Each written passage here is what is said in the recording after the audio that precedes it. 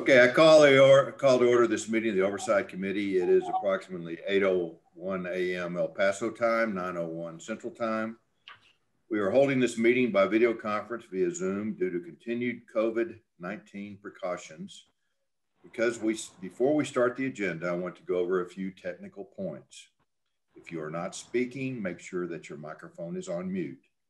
Please leave your camera on for the entire meeting so that we can see that we have a quorum. If you disconnect from the meeting and cannot reconnect, contact Michael Fisher or Terry Simeon for help rejoining in the meeting.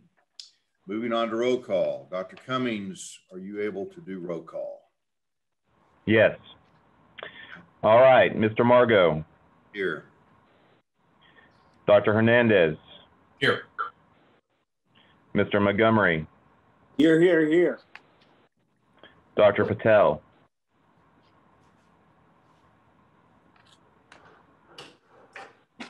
Ms. Payne, Here, Dr. Rice, Here.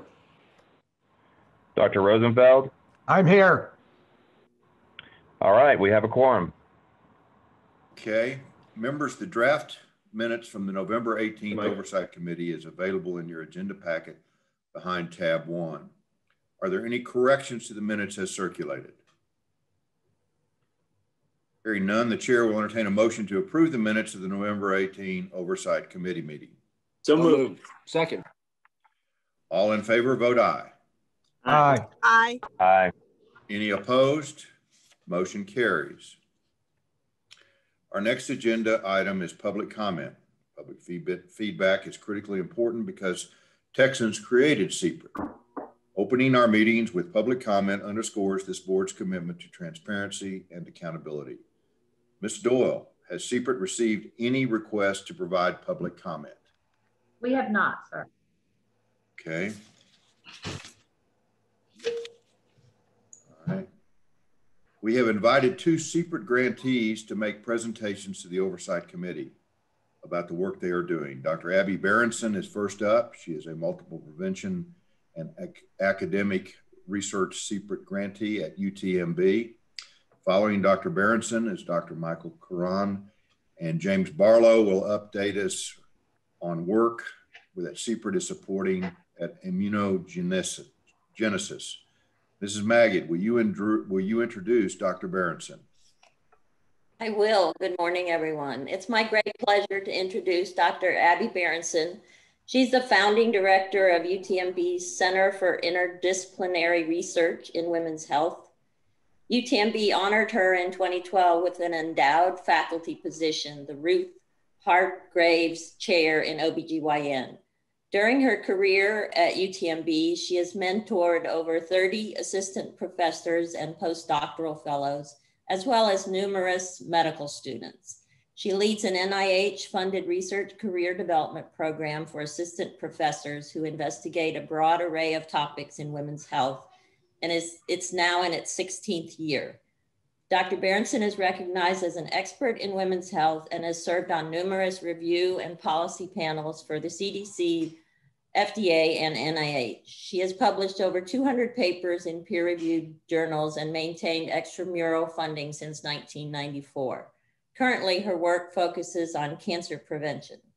Dr. Berenson has received nine HPV related CPRIT awards, eight prevention, and one academic research individual investigator award for prevention and early detection. Five of the nine awards are currently active.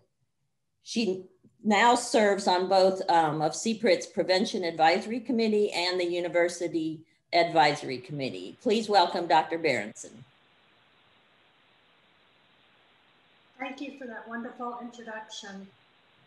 I would like to thank the Oversight Committee for the opportunity today to tell you about the work that we've been doing at increasing HPV vaccination rates among the low income patients at UTMB.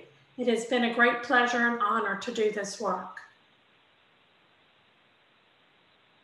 Human papillomavirus is known to be responsible for six different kinds of cancer, five which affect women and three which affect men. At this time, there are over 40,000 new cases of HPV related cancers diagnosed in the US every year. In 2006, so almost 15 years since it was approved by the FDA, the HPV vaccine was introduced and was felt to be a real game changer. People talked about the potential it had to markedly reduce these six kinds of cancer or even eliminate some of them. The FDA, the CDC tells us that we need to give two to three doses to our patients over a six to 12 month time period, according to the age of the patient. But they prefer that it be given to adolescents at 11 to 12 years of age. For those who do not receive it at the recommended time, catch-up vaccination is allowed up until age 45 now, which was extended from age 26. The CDC has also told us that we need to vaccinate 80% of girls and boys in the United States completely to eliminate the types in the four valent vaccine if we want to achieve herd immunity. But the numbers from 2018, the latest year for which we have data available, clearly indicate that we are nowhere near 80% for all doses completed. Here you see 13 to 17 year olds are at 51% and 18 to 26 year olds who are no longer eligible for the vaccine for children's programs are at abysmal 21%.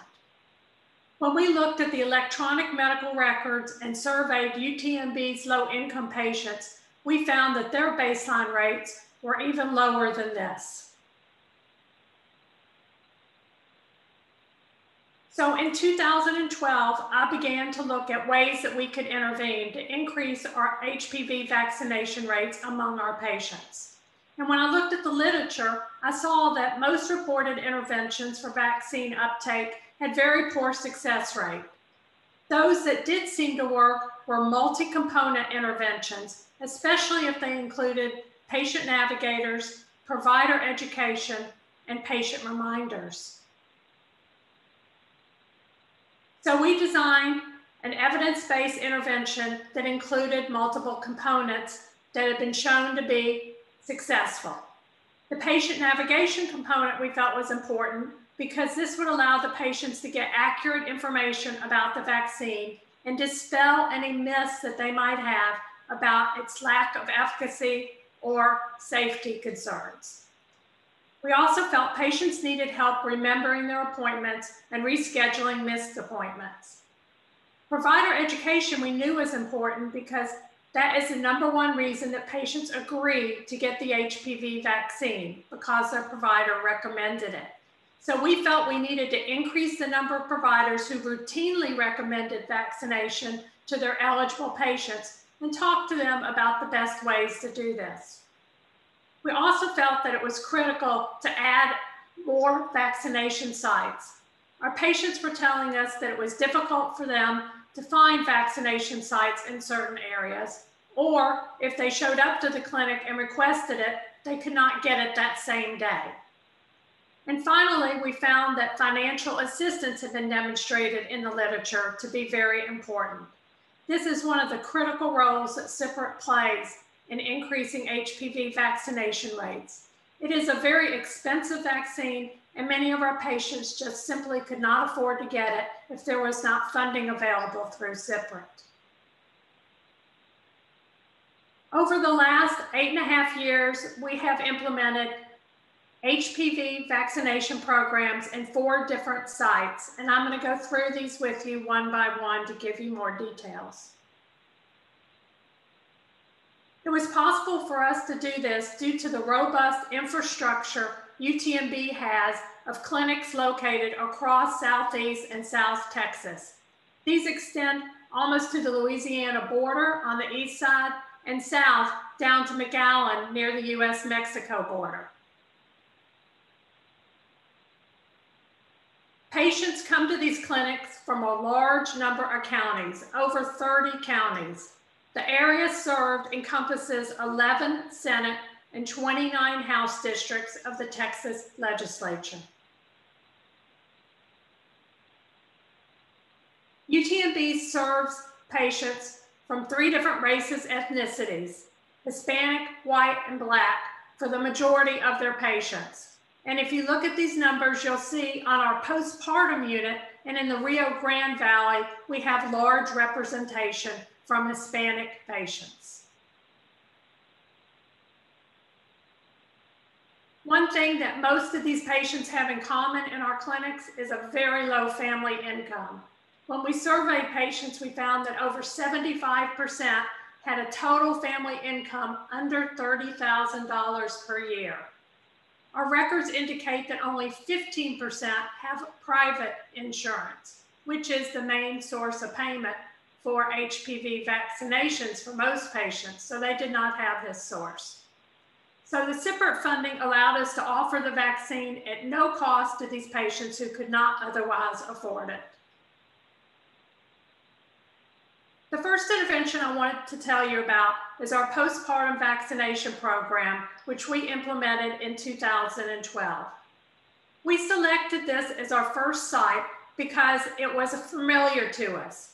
Women have been given the rubella vaccine for decades postpartum while they are still in the hospital. Therefore, our physicians and our nurses were used to vaccinating women postpartum. We also knew that because women stay in the hospital for one or more days after their delivery, there would be ample time for the patient navigators to counsel the patients about the vaccine and allow them to decide if they wanted to get vaccinated. Finally, we knew that women are very well connected with the healthcare system in the early months following a delivery. So we could coordinate these essential follow-up doses with their postpartum visits, or even with their newborn checkups, which our pediatric colleagues helped us arrange. So in 2012, we implemented this first program, which was limited to women from just Galveston County who were less than or equal to 26 years of age. It really went very well from day one. During this cycle, we exceeded our expectations and 1,204 women received their first dose while they were on the postpartum unit in the hospital before they were discharged. Overall, we administered 3531 doses and our initiation rate, which had been abysmally low at 25%, went to 81% amongst postpartum women. Our completion rate was extremely high at 94% for completing all three doses because these women came back and got their follow-up doses with their postpartum checks and their newborn visits. 563 professionals were, attended an HPV lecture and learned how to counsel patients about the need to be vaccinated. In cycle two, we decided to not do a baby step, but instead to do a giant leap and go from one to 29 counties. We decided to serve all patients that delivered a baby at UTMB in the recommended age range at that time. And this included five medically underserved areas and 17 MUA and rural counties. So these are typically hard to reach patients but they do come in when they have a baby. So that gave us a great opportunity. This program also exceeded our expectations with 2284 women receiving a first dose on the unit and being able to administer 6427 doses during the project period. Our completion rate remained high at 86%, even though many women had to travel a distance to get their follow-up shots due to the much wider catchment area we were using during this program. We educated 722 professionals during this cycle and we're very excited when after years of work, we're able to implement standing orders as part of our postpartum order set for HPV vaccination for all eligible patients. Now, this has been important because when the patient signs a consent that she wants the HPV vaccine, previously her physician had to be contacted who had finished rounds and be asked to stop what they were doing at that time and go and put an order for the vaccine in the medical record. Sometimes this resulted in patients leaving the hospital without being vaccinated. Now, the patient navigator can inform the nurse that the patient wants the vaccine and the nurse can give the vaccine without waiting for the physician to individually order each dose. One of the things that we do with all of our projects is qualitative interviews on providers and or patients. So this is an example of a qualitative interview from a nurse that worked on the postpartum unit, and you'll see the type of valuable information it gives us. She said, in the beginning, it was like, golly, we got to give another shot. We just got something extra to do. And that really is how a lot of people feel when you try to go in and implement a new program in a clinical setting. You have indeed increased the workload. So you have to sell them on the importance of doing this for the patients. And indeed, that did happen because she went on to say in this quote, we have been doing it for a couple of years now. It is in our routine. So just persistence over time, the staff will accept the need to add these additional services to what they are doing. We just began cycle three of our postpartum intervention, and we're very excited about this new cycle. We were able to increase eligibility to those less than or equal to 45 years of age because that is now part of the FDA approval. But in addition, we have extended the program to the Rio Grande Valley, and we're working with UT RGV's resident clinic that cares for patients who have no form of insurance. They have been very enthusiastic and we love working with them.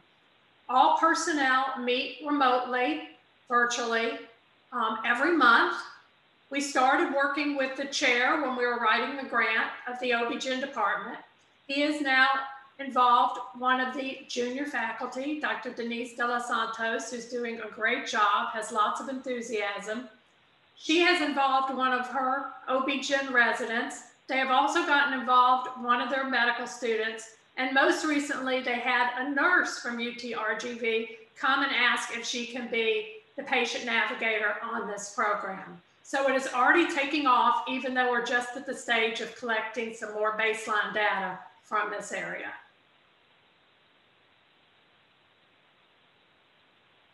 The second site where we did an intervention was our pediatric and adolescent clinics because the CDC says we need to vaccinate people at 11 to 12 years of age.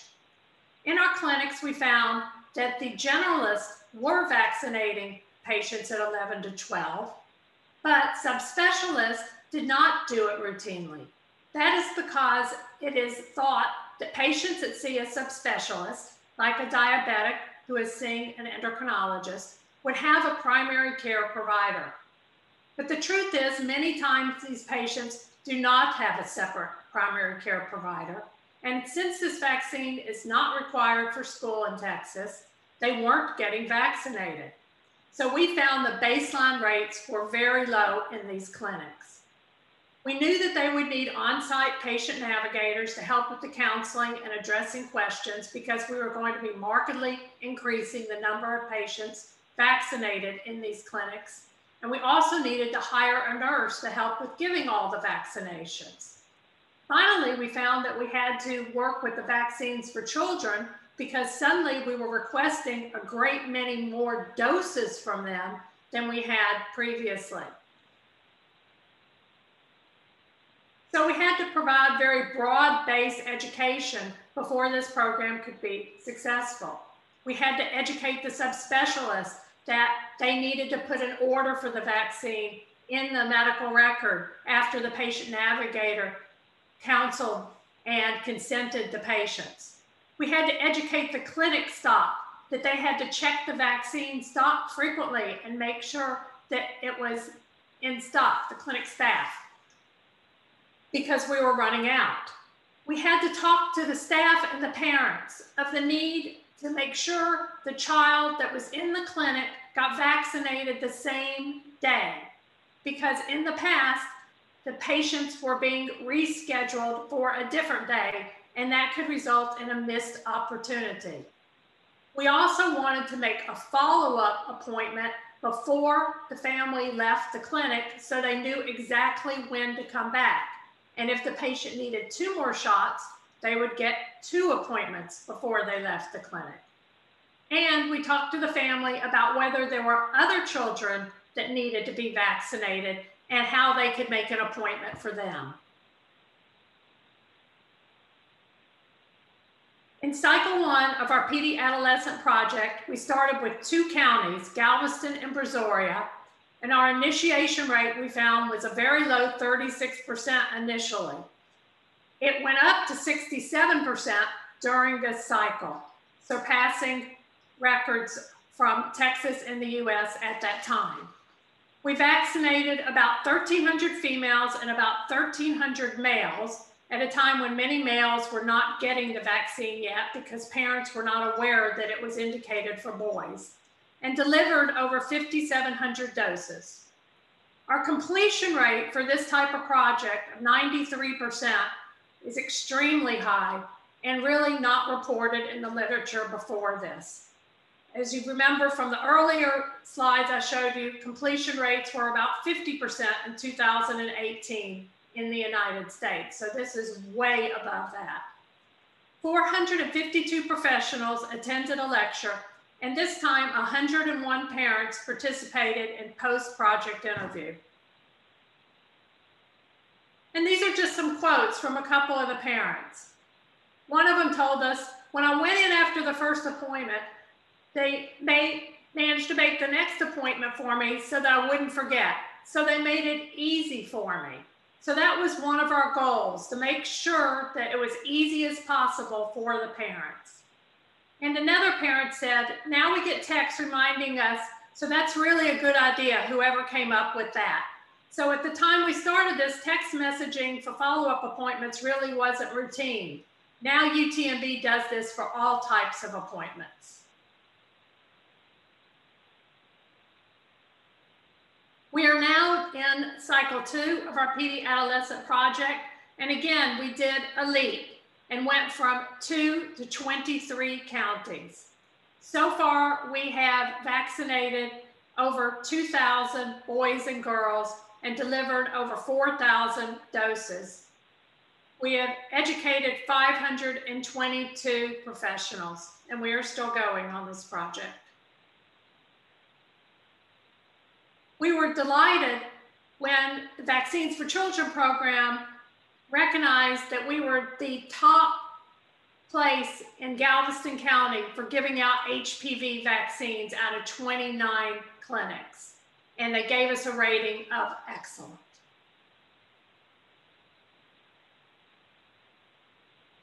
The third place where we did an intervention was East Texas. Why East Texas? If you look at cervical cancer rates in Texas, you will see that they are higher in East Texas than the rest of the state. But that is also an area that has a significant part of the population opposed to vaccinations. So that can be a bad combination. When we looked at our UTMB patients that used two clinics in that area, we found out that the baseline HPV vaccination rates for just one dose were only 14%, so much lower than the rest of Texas and the US. We knew an intervention needed to be done in this area after we got this data. During cycle one, we were able to increase our initiation rate to 60% and our completion rate to 70%, in spite of the fact that there were many people opposed to vaccinations that came to our clinics. We administered over 4,000 doses to males and females and educated 383 professionals. We also did interviews on 50 patients who expressed satisfaction with the program.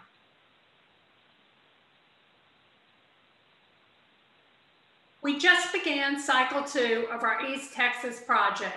And in fact, this was funded just a couple of weeks before the stay at home orders were issued. We had already planned to go from two to 13 counties, and we continued with that plan.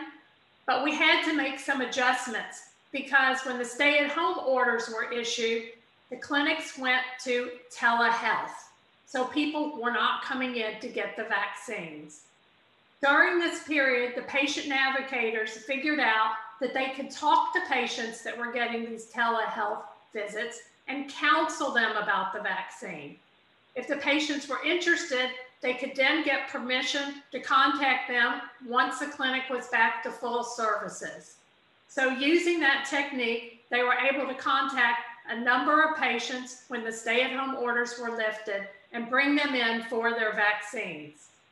In the first nine months of this program, we have vaccinated 525 women, delivered 872 doses, and educated 158 professionals by virtual learning techniques. So we are on target, even though we are dealing with the pandemic. And the final place where we have implemented an intervention program is in the Rio Grande Valley in McAllen, Texas. When we looked at our clinic in McAllen, Texas, we were surprised to find that they did not have a refrigerator to store the HPV vaccine, so they did not stock it. Therefore, it was not surprising when we looked at the electronic medical records and talked to the patients to find that very few of our patients had initiated the vaccine at all.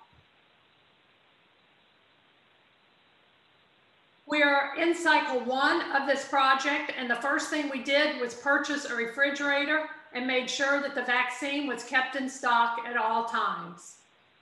Since we started this project, we have vaccinated 1,149 women, administered almost 2,600 doses, and educated 473 professionals.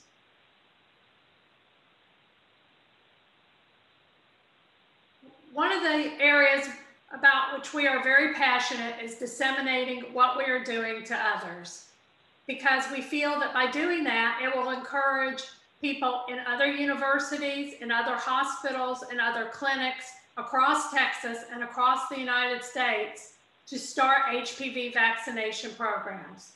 And we have found that we've presented at 23 meetings, done 12 invited lectures, and I'm frequently approached and asked how they can get this going in their local area. So that's been very exciting. We've also tried to educate the medical community through nine peer-reviewed publications. And this is a list of all of our publications. We just most recently had one published talking about our postpartum program and how it can be successful when you have patients from a large catchment area.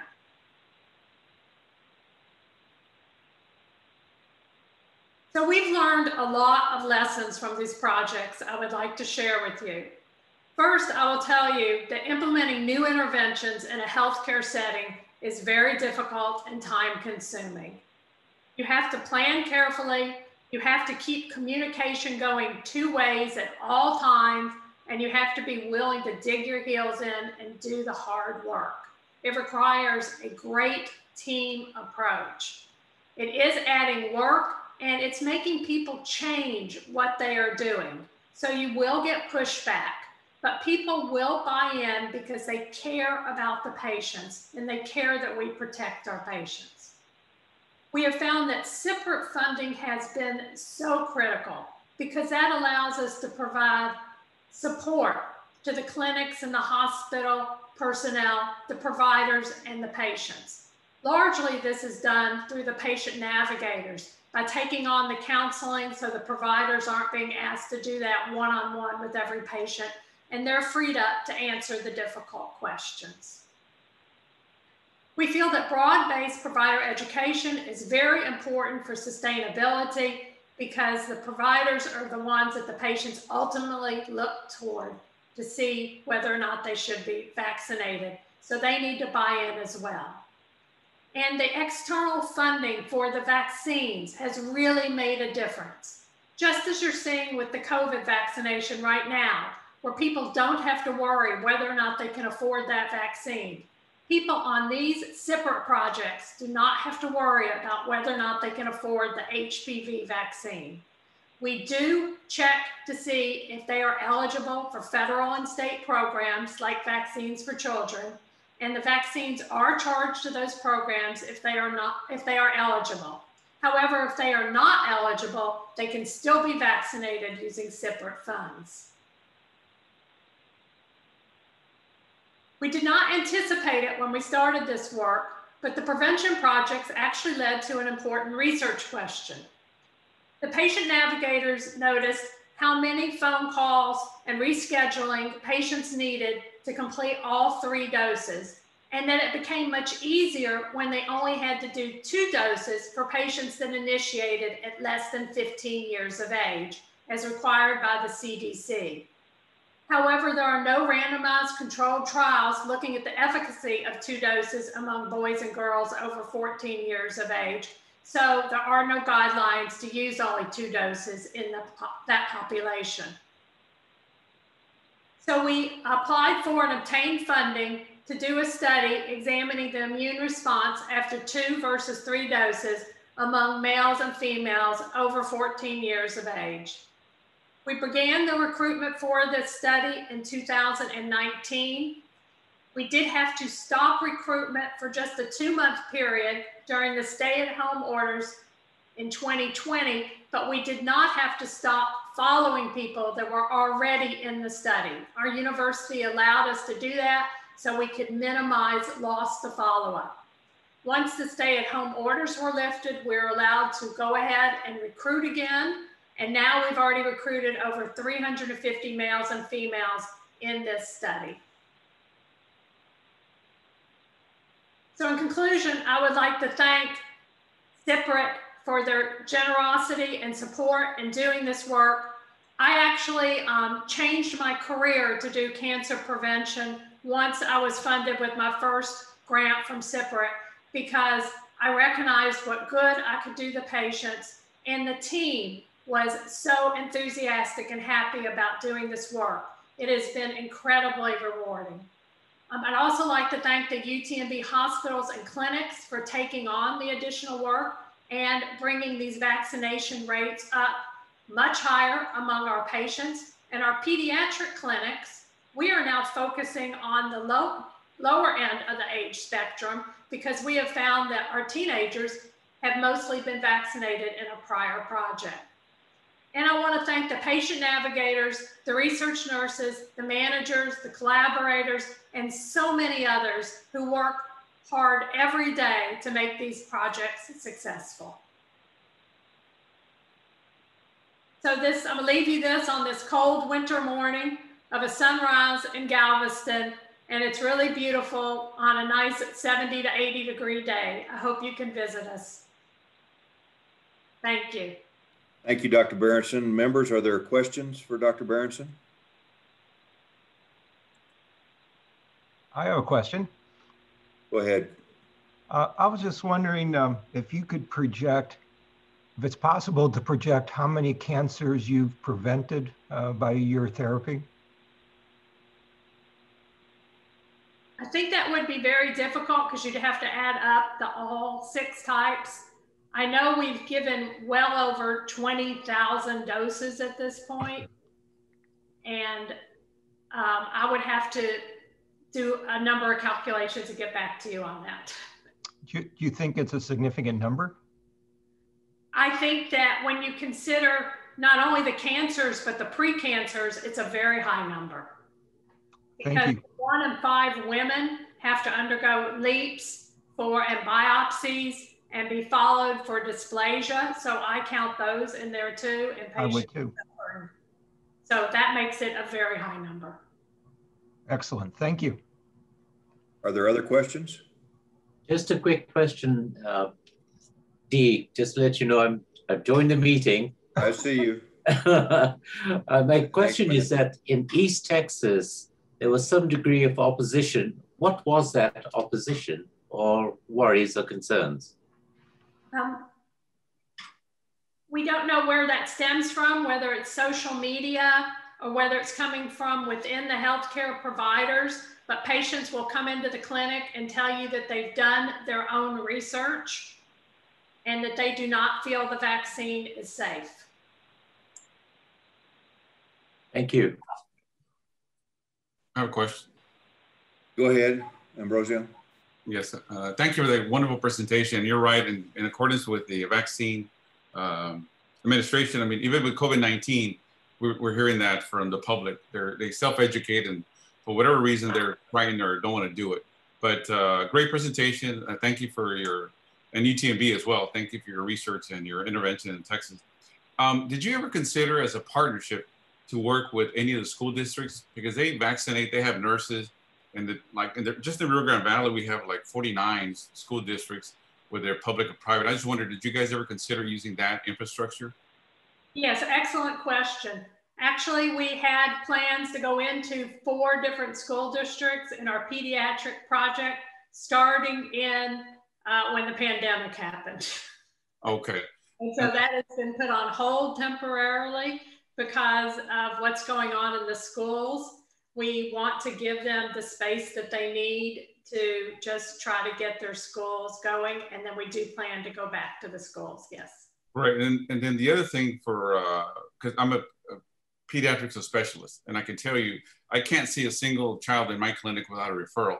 So either they're under managed Medicaid or private insurance. But the health plans, I don't know if you know this, but uh, they provide incentives for all primaries, not for specialists, but only primaries that like the ACOs for adults. So they're incentivized to make sure everybody gets vaccinated to whatever metrics they need. I would urge you to talk to the managed Medicare, Medicaid health plans that are essentially funded to the state of Texas, either through our legislators or directly, and maybe they can help you push your uh, program because if it comes from them, incentivizing the family care doctors or the primarily OBs as part of their quality metrics, they're more likely to do it. So they, they can do your heavy lifting for you. They mandate as part of their quality metrics. Just something to consider. Excellent, excellent suggestion. Thank you very much. I have a question re related to HPV, the vaccination. My recollection is uh, Governor Perry tried to mandate that, and then there was great political pushback. Has there been any more mo movement to uh, try to mandate uh, HPV as a part of your uh, vaccination requirements for schools? For school age children? There has not been in Texas. There have been in a couple other states, and actually, it has not gone extremely well. It's similar to here where they would mandate it and then they would pull back. So I only think there's maybe one or two states in the whole country now that has it mandated for school. Is do you think that there's more research that's required to make it justifiable for for the uh, legislature to pass that? Uh, perhaps. I think what happened with HPV is it is a sexually transmitted infection and it has uh, suffered from that type of publicity, if you want to say that, where parents feel that vaccinating their child against a sexually transmitted infection at 11 to 12 might send a signal that that it is okay for the child to have sex. Now, I don't, that's been proven not to be true. There is research on that, but that is still a concern of the parents, and the parents, um, for that reason, want to be present when the child is vaccinated. And of course, at the schools, they're not present. In terms of uh, mandating it for schools, a lot of parents just don't want that particular vaccine. They say maybe once we get the child is older. Yeah, maybe once we get through all this the COVID vaccines and the acceptance once and for all, we can readdress this. Ramona, are we uh, replicating any of this throughout the uh, um, state with any of our prevention uh, grants? There are other projects that, um, like HPV in school districts, and um, I think Abby started with UTMB uh, because it's a closed system, and it's much easier um, for acceptance among the administration and all the providers. Um, but certainly, I think people are, uh, other grantees are aware of her success. And we're always encouraging people to um, look into other grantees programs and encourage grantees to apply for dissemination grants so that they will have the tools able to um, uh, start the programs in their own areas. Okay, so we're spreading the word about the successes here. Okay. Absolutely.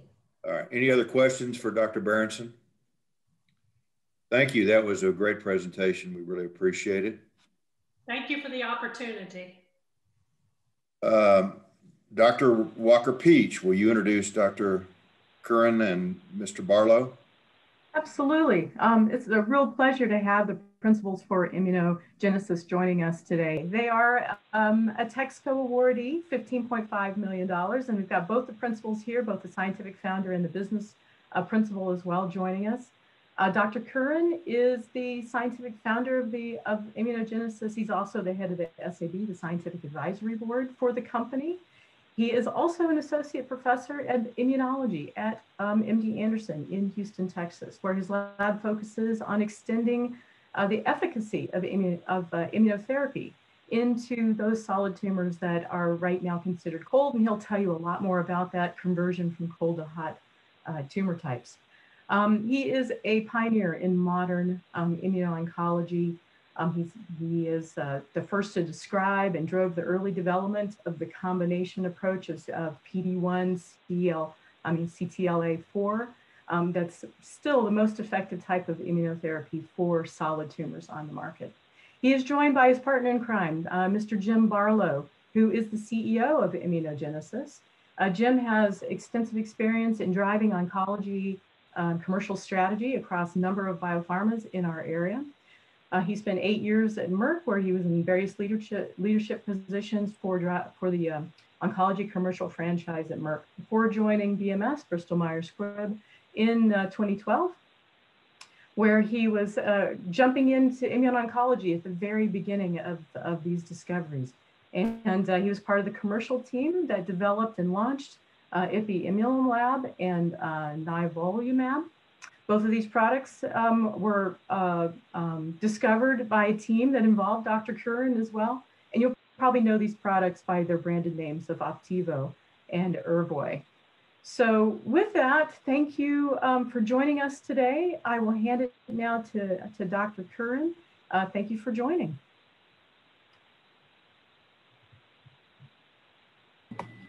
Thanks so much, uh, Cindy, for the very kind introduction. Can you guys hear me okay?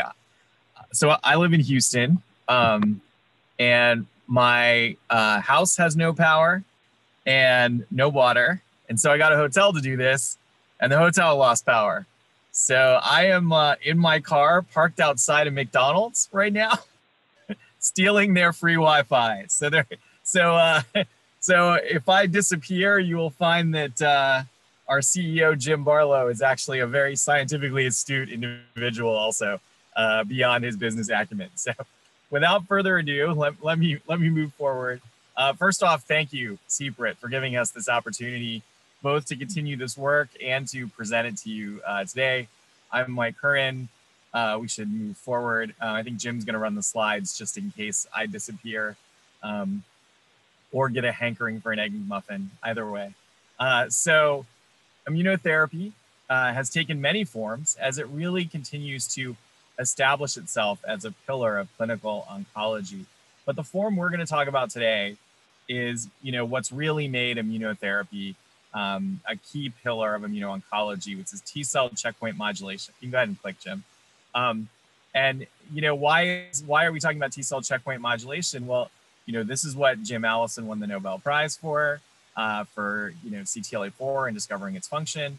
Uh, also, you know, even even uh, somewhat uh, advanced in age, older presidents can be cured of uh, what would otherwise have been a death sentence, metastatic lung cancer, with these therapies. So this is really what's driven immunotherapy to the forefront. Uh, next slide. However, the reality is that you know the success of immunotherapy and, and all of the things you see on uh, television at night advertised keytruda opdivo et cetera really lies primarily in what we consider immune hot cancers now they're immune hot because they have large amounts of mutations that make them immune visible gives your immune system lots to target that's different from self and also because they have an inflammatory uh, infiltrate at baseline your immune system's already trying to get some headway there those are cancers like melanoma and lung cancer, where immunotherapy is, is very uh, significantly effective. the problem is of the patients that walk through the door somewhere like MD Anderson, the majority don't have cancers that are targetable by the existing therapies. 55% have what we consider immune cold cancers. Very few targetable mutations, very little immune infiltration at baseline. And for those, the existing drugs just don't really work. Overall, on the right, you see that you know really we can still only treat uh, about 45% of patients with an approved indication for immunotherapy. And within that 45% that we treat, the objective response rate remains under 15%. So really, there's there's significant uh, potential to do better for patients that we can treat, and there's a large uh, group of patients, prostate cancer patients, pancreatic cancer patients, most colorectal patients who we can't treat right now with the existing therapies, but would like to be able to, to bring these benefits of immunotherapy to. Next slide. So, so it helps to understand how the existing drugs work that have been so successful. Keytruda, Opdivo, all of these things. Your cancer has mutations. Those mutations become visible to the immune system, which then activates a T cell response. Uh, those guys in blue right there. At the moment of activation, though, these T cells upregulate checkpoint molecules, CTLA4, PD1. The natural function of these is to put an expiration date on activated killer cells in your immune system. This is a good thing. You get flu, billions of killer cells go to your lungs. Once the flu is gone, you don't want billions of killer cells floating around your lungs looking for things to kill. Uh, unfortunately, tumors cheat and they surround themselves uh, as well as their surrounding stroma or cells they've recruited uh, with ligands for these receptors. So triggers for these off switches, CTLA4 and PD1, your T cells try to attack the cancer, but they're just switched off. CTLA4 gets engaged by B7s, PD1 gets engaged by PD ligands. The immune response is attenuated. Uh, could you click, Jim? But when we block these with antibodies, what happens is we've denied access to these off switches to the tumor and the surrounding tumor stroma, T cells can expand in the tumor microenvironment, eliminate cancer, uh, proliferate, and basically they win this sort of battle of numbers and activity within the tumor microenvironment. Although this looks idealized, the truth is, you know, we can have melanoma patients come in with lung mets, liver mets, hundreds of subcutaneous nodules. 12 to 16 weeks later, after treatment with these two drugs, all the cancer is gone. So there really is, you know, a, a profound, strong potential of your immune system to eliminate even a bulky systemic cancer. So, why doesn't this work better? Um, next slide. Why don't more people experience these benefits that we've talked about? Why, why is there this majority of patients that don't respond? Well, the answer, uh, if you could click one more time, Jim, the answer is that tumors have more in their bag of tricks than just checkpoint blockade. And so we can block PD1 or CTLA4, but that doesn't help if you know we have a, a, a lot of myeloid suppression, TGF beta, adenosine, IDO, arginase, uh, cancer-associated fibroblast immune suppression, TGF beta, direct apoptosis through fast ligand, uh, metabolic barriers such as hypoxia and, and hyper metabolic consumption of nutrients by tumor all of these things act in a dominant fashion to suppress uh, T cells, even in the context of checkpoint blockade. And so, you know, this is why in these cold cancers, we can't get headway just by blocking PD1 or CTLA4. Uh, if you click one more time. So I wanted to take this opportunity to thank CPRIT though. My lab at MD Anderson uh, has benefited greatly from two CPRIT uh, investigator awards. One is investigating hypoxia, which has led to a very successful clinical trial uh, and a follow-up R01 grant that we're working under right now. Uh, another looking at PDL2, which has directly informed some of the work we're going to tell you about today. Uh, next slide, please. So PDL2. So if you um, if you followed any of this PD1 drug development, you know that you hear a lot about PDL1. So of the FDA approved antibodies, there are three that target PD1, three that target PDL1. Somehow PDL2 was left out of the mix. And that's sort of a historical anomaly uh, basically, there was a point at which we just didn't have any good reagents to detect PDL2 in humans. And therefore, people assumed, well, if we can't see it, it's not there. It turns out that assumption was quite wrong. PDL2 is expressed widely across the stroma of, of multiple types of human cancers, can be very highly expressed on tumor cells themselves, even more so than PDL1, and is also expressed relevantly at in fact, Merck found that uh, sometimes PD-L2 levels are more predictive of response to the PD-1 blocking drugs like Keytruda than PD-L1 is. So we know PD-L2 is really important, but that was recent knowledge. Uh, next slide. So our goal uh, was to understand, you know, how can we do better than the existing drugs that just block PD-1 or just block PD-L1? And key to that is understanding that there are a number of immune interactions that shut down your T cell response in the tumor. And one that wasn't addressed by the existing PD-1 drugs was the interaction of B7-1 and PD-L1, first described by Arlene Sharp and Gordon Freeman at Harvard.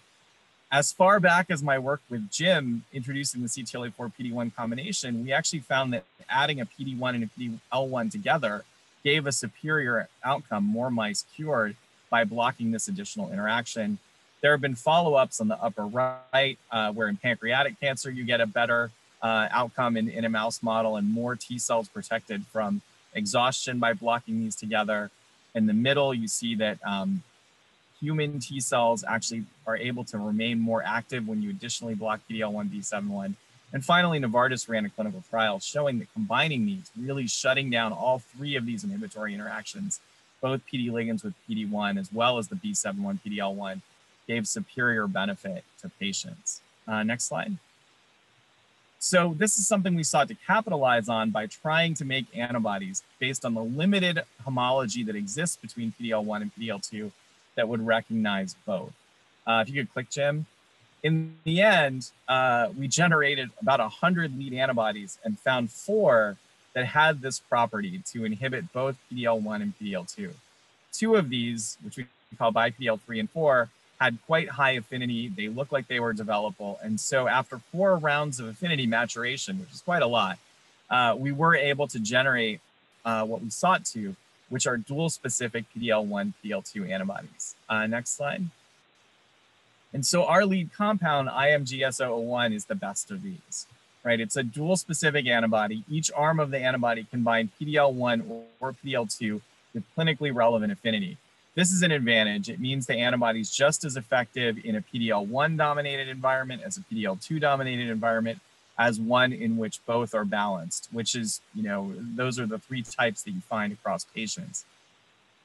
In addition, we've engineered this antibody with effector function. What does that mean? Well, I'll tell you in, in a minute. So in the upper right, uh, you see that this antibody, as I mentioned, shuts down all three of these inhibitory interactions in a single drug whereas currently that's only possible by combining PD-1 and PD-L1 antibodies.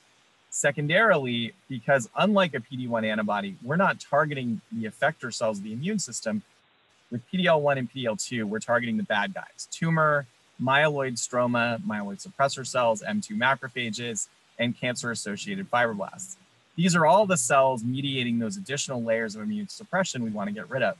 Back to the effector function. So we engineered the antibody so that it can mediate the killing of these cells.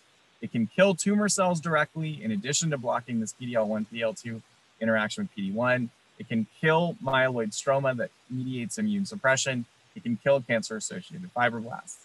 How does it do that? Well, with three mutations first characterized and clinically proven uh, by a company called Xencor that enhance both the ability of NK cells to mediate killing of targets that the antibody is bound to, as well as importantly, because there aren't a lot of NK cells in most patients' solid tumors, uh, ADCP. So what that means is it takes uh, myeloid cells, phagocytes that are in the tumor, and it has them eat uh, tumor cells or tumor suppressive stroma. So basically, in two different ways, this antibody can mediate killing of PD-L1 and PD-L2 positive cells. Next slide.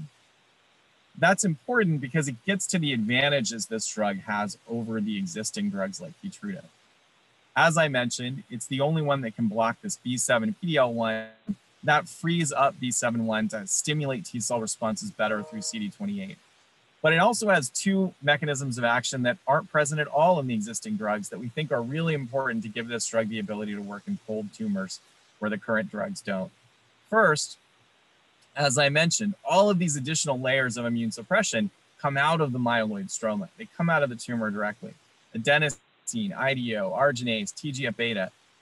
What the antibody is doing is not just blocking this PD-1 pathway, it's also eliminating that suppressive burden by mediating direct killing of those cells that are pumping out all of those other immunosuppressive factors. This allows T cells to flourish in this environment where they're normally suppressed.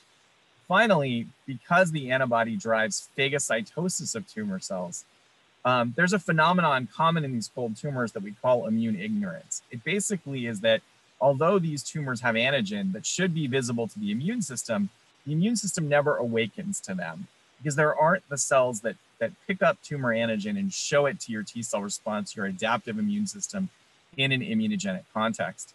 What the antibody does is almost function like a vaccine. The antibody bound to PD-L1 and PD-L2 positive tumor cells mediates them being eaten by the myeloid cells surrounding them. That activates those macrophages, those dendritic cells, and they traffic to your lymph node and activate a T cell response. So there's also this vaccine effect. The com combination of all three of these gives the antibody an ability to work both very well in hot tumors as well as in cold tumors, as I'll show you. Next slide. So um, CT26 is a is a very commonly used mouse model.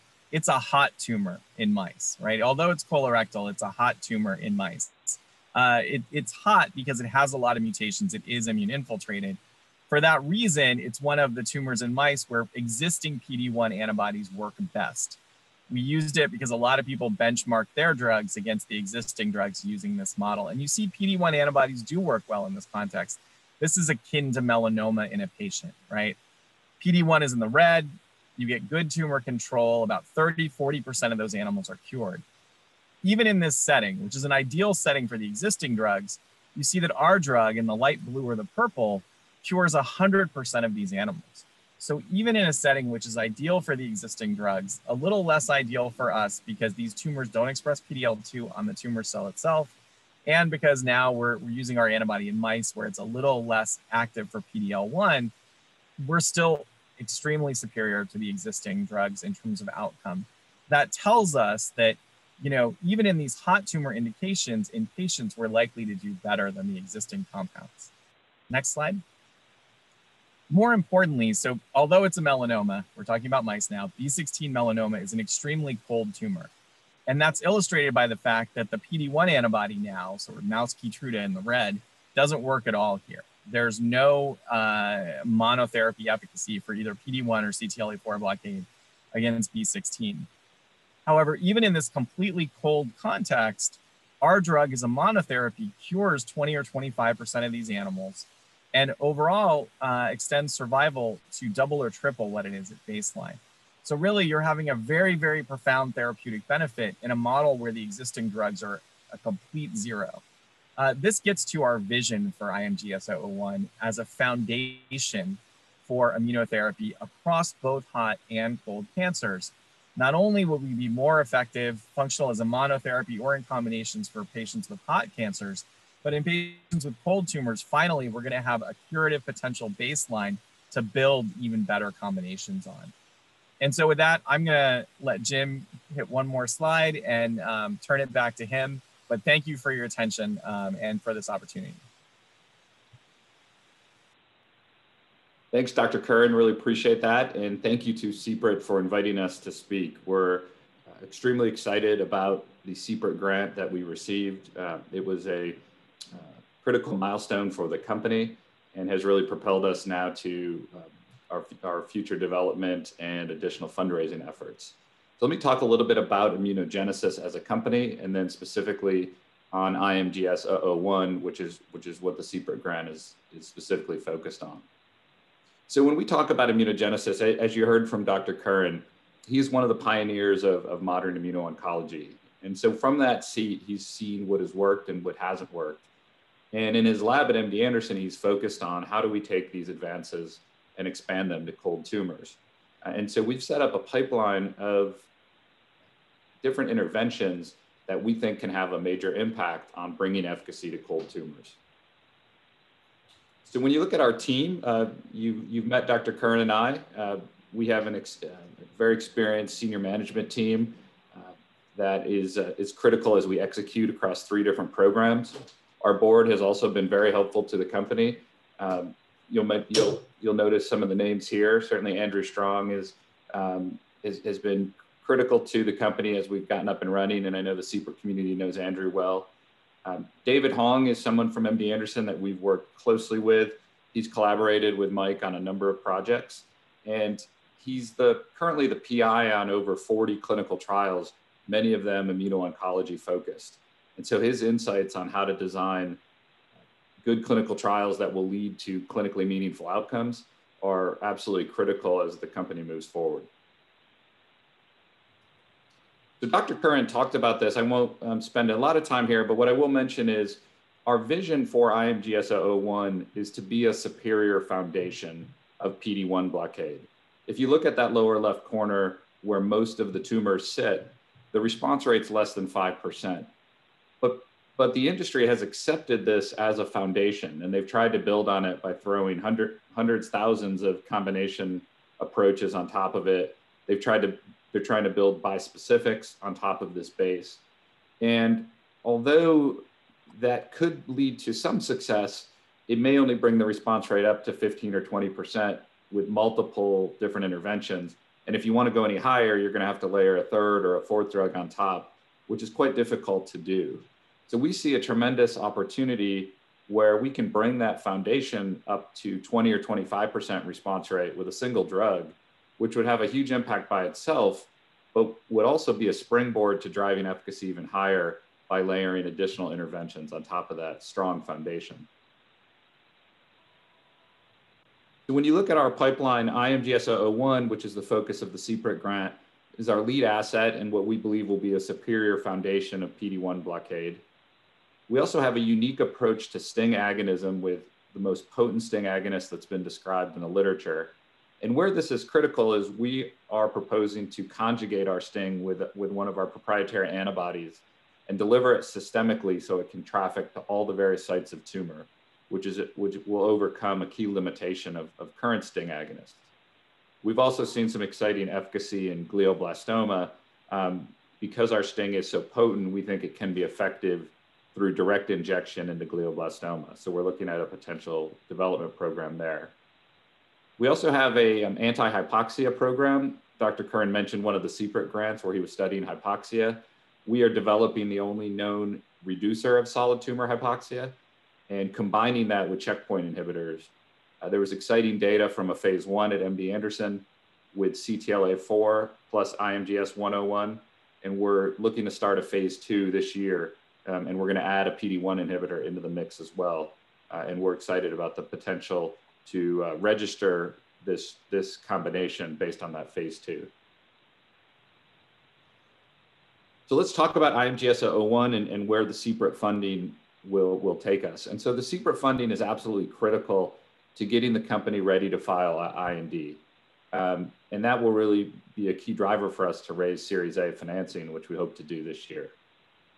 So we, we've done some master cell banking on, um, on this molecule, and it's shown that it's manufactured quite well. This was with a manufacturer in Germany. We've moved manufacturing to Fujifilm in Texas uh, in connection with our CPRIT grant. So we're very excited for that. We're starting cell from cell line development with Fujifilm because that was the, uh, the, the most efficient way to start that process was to go ahead and start at the base from cell line development. We've talked to the FDA and the FDA has signed off on our proposed GLP tox plan.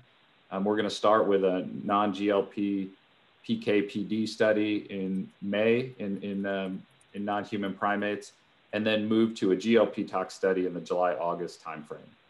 We plan to hold a pre-IND meeting with the FDA in Q3 of this year.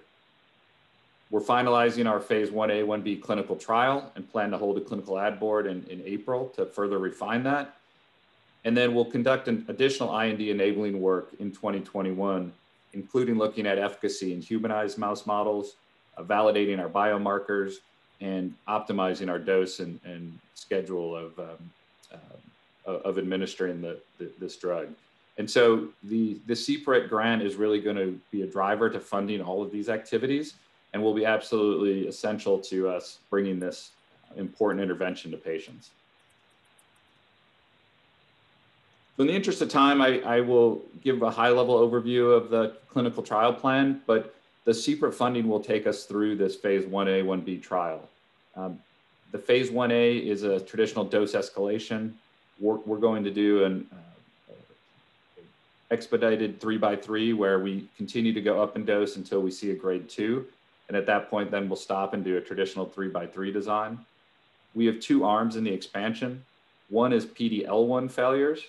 There's a lot of these patients across triple negative breast, head and neck, hepatocellular, uh, and we think we can reverse the failure in these patients uh, because PD-L2 may be a major factor, or be, and or because there may be immunosuppressive stroma that our mechanism can uniquely address. Arm B is more um, of the traditional cold tumors, and these patients will most likely be PD-1 or PD-L1 naive patients across prostate, ovarian, colorectal, where we'll seek to show that this intervention can have efficacy in cold tumors. We also are looking at multiple different biomarker approaches. I'm looking at PD-L1, PD-L2 dual expression, and we're also going to look at a molecular marker 9p24.1, um, which correlates with PD-L1, PD-L2 expression. And what's exciting is if 9p24.1 is predictive of clinical efficacy, we have the opportunity to get a cross-tumor indication similar to what Merck has received uh, for MSI high patients with Keytruda. There's also an exciting extension um, off of IMGS-001 because it's the way it's designed is as a single antibody right now. We could actually take one of the arms, one of the Fab fragments from the antibody and swap it out for another immune modulator. For example, 41BB or CTLA4. At that point, it becomes a traditional bispecific, but we're hitting three different targets. And this is, this is where the industry and the field is going, is to hit multiple targets with a single antibody. And there's solid biologic rationale for both of these combinations. So once we show that IMGS-001 is safe and see some early signs of effectiveness, this would be an exciting platform extension to move into these tri-targeting bispecifics. So um, in, in closing, the, the CPRIT funding will be critical in allowing us to establish proof of concept for what we think is a groundbreaking therapy. If this, if this therapy works, it's not going to be an incremental change. It's going to be uh, a, a, huge change in how um, cold tumors are treated and potentially all tumors um, once, we, once we can show more data in hot tumors. So the, the goals for the phase 1A, 1B, which is what CPRIT will help drive, is to generate this initial proof that IMGS-001 is a superior foundation of PD-1 pathway blockade, and specifically that it's effective in cold tumors. We have the opportunity in future trials to layer combination treatments on top of IMGS-001 and, and show that we can drive efficacy higher. We also have the potential, as I mentioned, to look at 9p24.1 amplification, which could set us up for a potential molecular indication across different cancers. And that would be uh, very exciting and um, and, and quite groundbreaking. And then we have this platform expansion opportunity where we, we could expand into, into tri-targeting bispecifics uh, if we show that the, the main molecule is safe and effective. So we are, um, we are extremely excited for this molecule and the potential that it has to make a huge impact on patients. And the CPRIT funding is going to be absolutely essential in us, not only getting it ready for IND, but also generating this proof um, of concept in the phase 1A, 1B trial. Let me stop there and, and take any questions, uh, either for myself or Dr. Curran. Thank you. Uh, members, are there any questions? If I could ask a question to Dr. Curran. Um, thank you very much for the presentation and the explanation of a very complex subject. But one of the things I get out of your presentation is that stroma, the tumor stroma has got an important role to play. Aside from the hypoxia studies, are there any other ways to manipulate the tumor stromal tissue? It's a really good question, and it's the focus of a tremendous amount of um, research in the field. Um, so some people, if I'm speaking broadly, you know, some have opted to go after the specific mechanisms of stromal suppression one by one, right? And some of those approaches um, have failed, I think, because there's so much redundancy, such as what you saw with the IDO inhibitors, which were, you know, failed a very large phase three trial. but others may be successful, such as, you know, even adenosine receptor inhibition seems to actually have some significant uh, efficacy as a monotherapy. I think the problem with the one by one approach is that there's a lot of heterogeneity patient to patient as to which of these sort of stromal suppressive effector mechanisms is the most critical one. And also there's a lot of redundancy. And unfortunately, the compounds we have today um, have pretty significant side effects such that it's hard to stack, you know, three or four or five to kind of cover all the bases. And so what where people have turned, and you know, it's the direction we've gone is um, toward targeting the the more immunosuppressive stromal cells themselves, either for elimination or for functional repolarization. And so, you know, the the effector function in our antibody represents, you know, a way to eliminate those cells. Others have taken approaches that are either designed to affect the the differentiation or to, you know, with the STING agonist, for instance, also in our pipeline. Um, many others are working on that as a way to activate innate immune programming within the myeloid stroma, at least, to deprogram the tumor induced suppressive programming and reprogram a pro inflammatory state. None of those approaches have sort of advanced to a point that they're close to FDA approval yet, but I think at, at a level of preclinical efficacy and early clinical understanding, we're seeing potential for both, both the innate reprogramming at the level of activating innate sensors and increasing phagocytosis, um, as well as at the elimination stage with antibodies that are designed to actually specifically uh, reduce this burden of these very suppressive cells, either M2 macrophages, MDSC, or others. Thank you. Any other questions? Well, Thank you.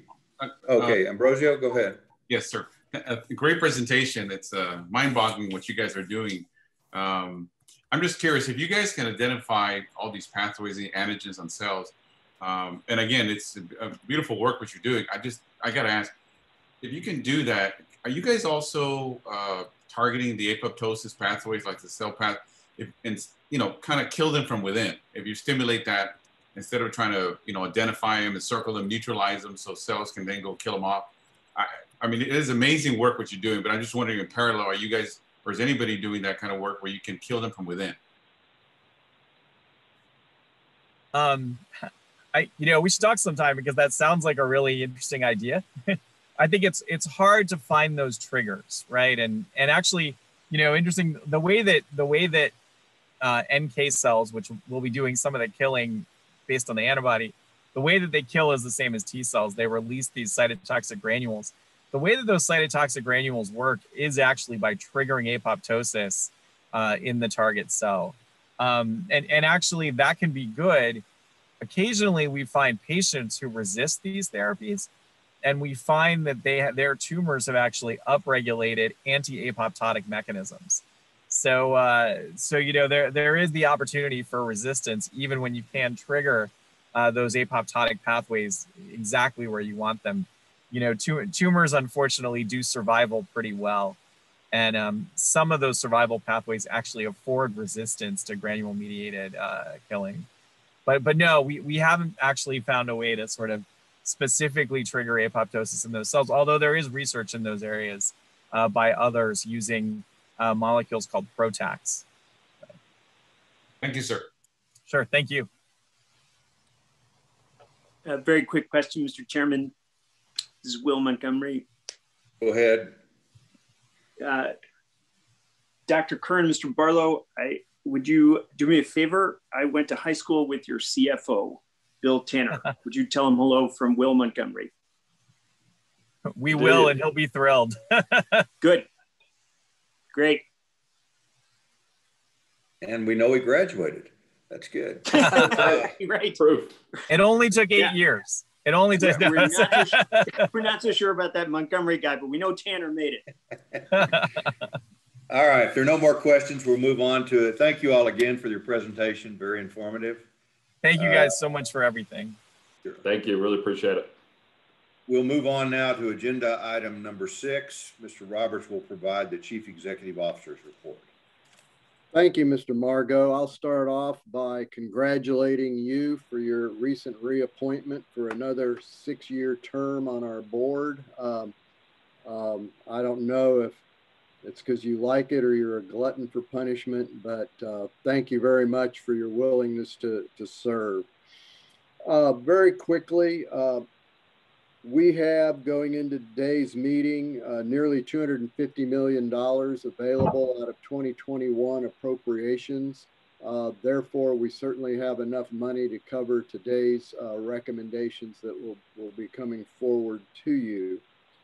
Um, I want to have a, a, stop here for a minute uh, and introduce you to a, a, new staff member that we're going to have come on board on March 1st. Uh, Tracy Davies is going to be joining us in a new staff position as the Chief Intellectual Property and Strategic Initiatives Officer. As we enter our second decade, our portfolio of intellectual property created and advanced through our funding continues to grow. Ms. Davies will help guide the strategic development of our IP portfolio, as well as identify new ways to integrate our cancer prevention and research efforts with new public-private partnerships.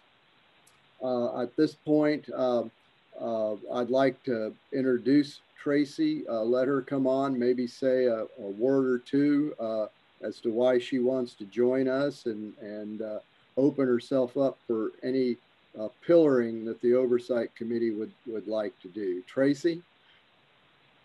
Thanks, Wayne. Good morning, everyone. Um, it's nice to see you all. I wasn't sure if I was going to be able to make it this morning because of the situation we're all sort of enduring here.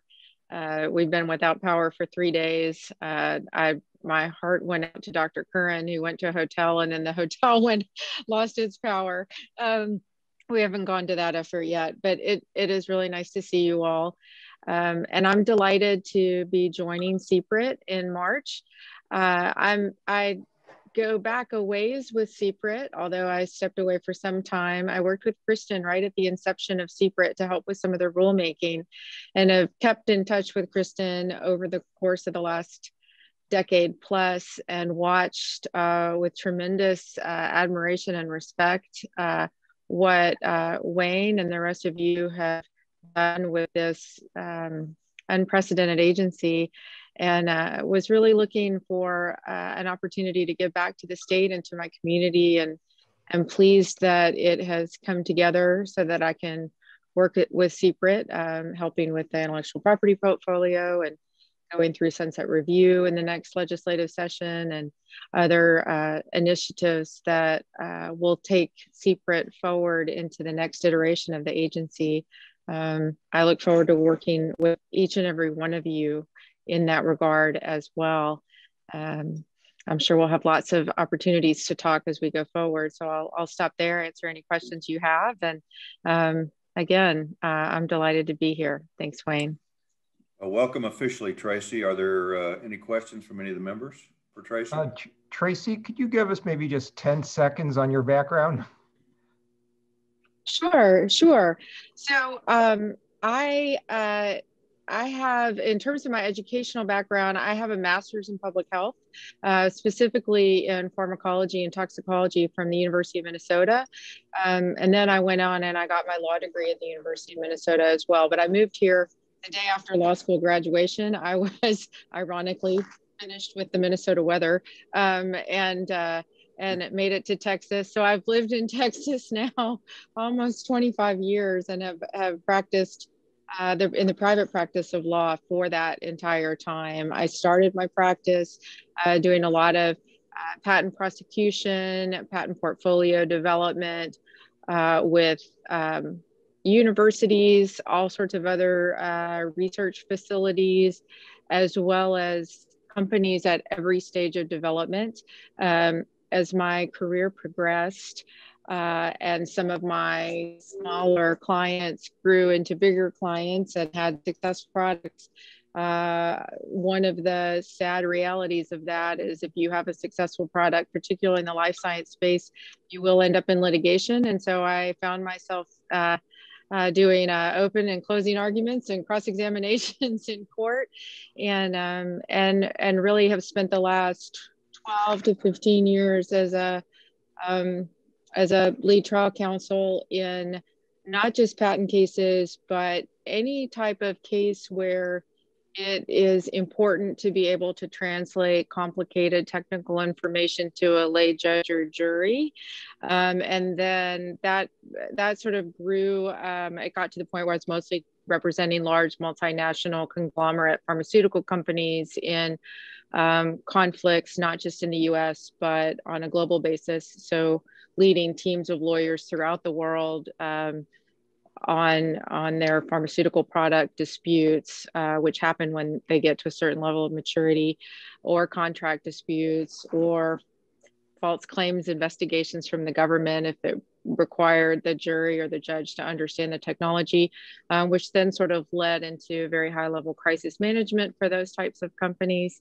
Um, and, and that's really what I've, I've done the last many years. Uh, but after 25 years in the private practice of law. As I said, I was ready, uh, change ready. It's time to give back um, and be more involved locally in, in Texas. I live in Austin and I always have. Um, and, uh, and I'm looking forward to, to uh, coming home, uh, so to speak, not being a elite status on two different airlines will be nice. It'll be nice to be at home for a while. Very, very impressive. Welcome to Texas. Thank you. Thank you. Will, did you have a question? I do have a question, Ms. Davies. Welcome. Glad to have you. Did you know that Mr. Margo had been re reappointed when you accepted this job? Because you may wish to reconsider. Because now he's in for another six years. And I just want to make sure that you came uh, in with your eyes open. Uh, Willie. I have to say, there was full disclosure and, and I'm pretty good at asking questions. So uh, I, I, I, knew and, uh, and I, I saw that as a positive. good answer. yeah. Yeah. Politically correct, Tracy. Thank you. Uh, go ahead and continue. Welcome, Tracy. Thank you. And go ahead, Wayne. All right. Thank well, you. thank you. Thank you, Tracy. Um, uh, the next item, my legislative session update, is uh, perpetually evolving. Um, it changed again this morning. Uh, a week or so ago now, well, I guess on February the 9th, Heidi and I presented our budget request to the Senate Finance Committee. Uh, it was a pretty um, uneventful meeting. Um, uh, we, as I reported previously, uh, are extremely happy with the Senate's initial round of recommendations for us. Um, the House Appropriations Committee was actually supposed to begin uh, organizing this afternoon uh, with an overview of several of the major policy budget issue areas facing the legislature this session. Uh, but uh, no surprise, uh, they've had to postpone that. In fact, they've canceled all week, all this week's meetings. My guess is they will pick that back up again uh, Monday or Tuesday, uh, weather weather permitting, uh, and that would put us into a position of testifying towards the maybe the end of next week. I think more likely the week of March the the first House uh, recommendations for us uh, follow the traditional pattern of uh, just continuing agency operations. Uh, in our case, that's a positive because as you'll recall, we were not instructed to reduce our base request like so many agencies were. Uh, so they do recommend full funding for the agency, but the exceptional item requests for new personnel are not included. Uh, the position, uh, the exempt position salary increase for the chief scientific officer wasn't granted in either house, but that's not a surprise. Uh, those decisions are always left uh, to the very end of the budget conference committee. The one thing House Appropriations did do uh, was a variation of our transfer authority. I'll spare you the details of, of that right now. Uh, but uh, we have had uh, a more restrictive transfer requirement put on us as a result of the problems that occurred in 2012 and 2013 uh, that have the restrictions, though we've never had a request denied uh, through the process. Uh, sometimes the delays are extraordinarily, extraordinarily long, uh, which has hampered our operations on, a, on, a, on occasion. Uh, but uh, they they have done a variation that, that, that should help should help with that. Um, last thing I'd like to say with respect to the budget, again, as, as reported previously, um, we got surprised uh, early in January uh, with an increase in what is called SWICAP, the statewide uh, cost allocation plan uh, that we get assessed, many agencies get assessed uh, for using uh, services at state agencies like the comptroller, the state auditor, the attorney general. Uh, and uh, it was an enormous increase from roughly, if I recall correctly, 68,000 to $450,000, a 552% increase. Um, that is going to be uh, not going to be able to be absorbed uh, under our current budget uh, situation. So we will need to uh, request a transfer from the research programs to administration to cover this. However, um, we need more information as to the calculation that led to this dramatic increase Yesterday, I sent a letter to the governor's office that is actually in charge of the consultant that developed this report, asking for greater information so that we understand what is happening.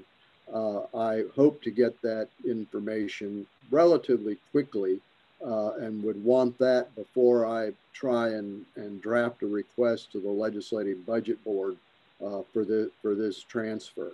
Again, it's extremely unfortunate that this came up uh, subsequent to our submitting our budget request. Uh, it might have been able to be accommodated in the base bills, uh, certainly in the Senate, uh, but uh, it has added to the length of our presentations to the to the different committees.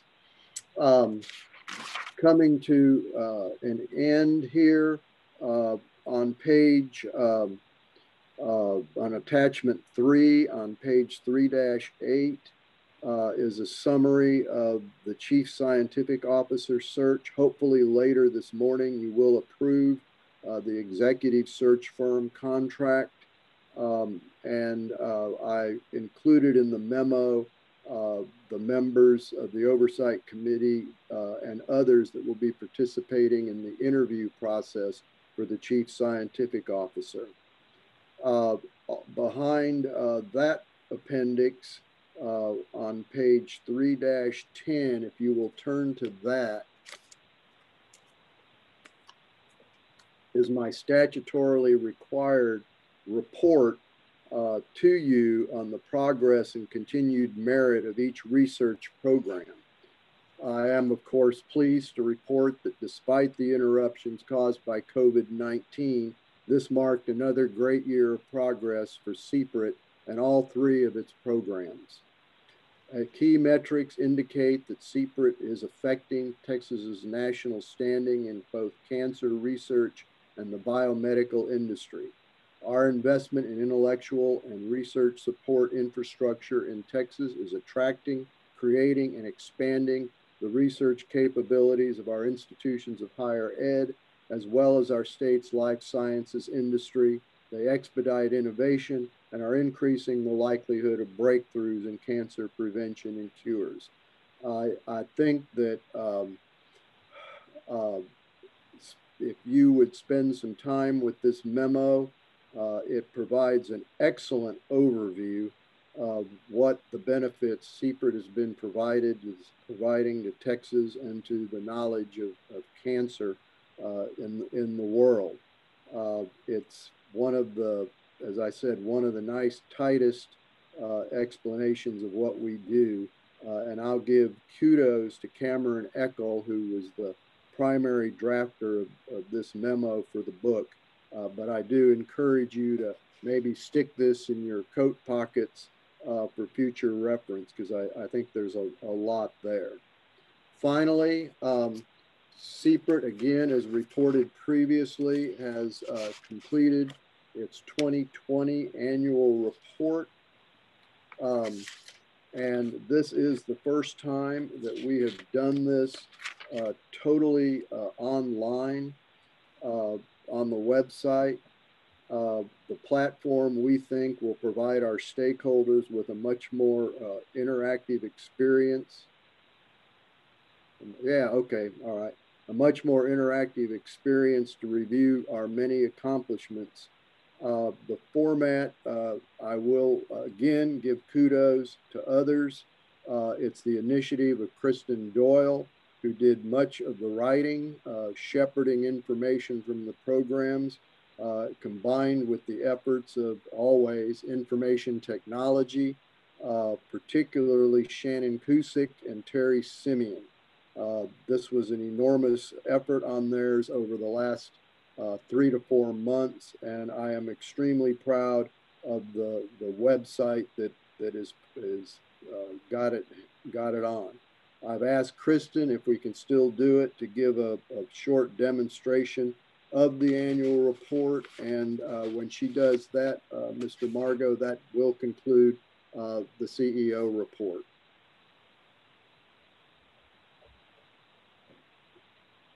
Hey, Kristen?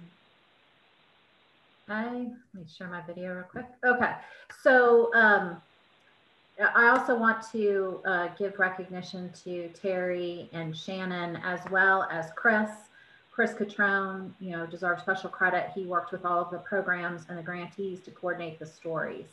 You know, you guys know we have more than a decade worth of grants and grant projects. So we have so many stories to tell about the brilliant work that's being done by grantees across Texas.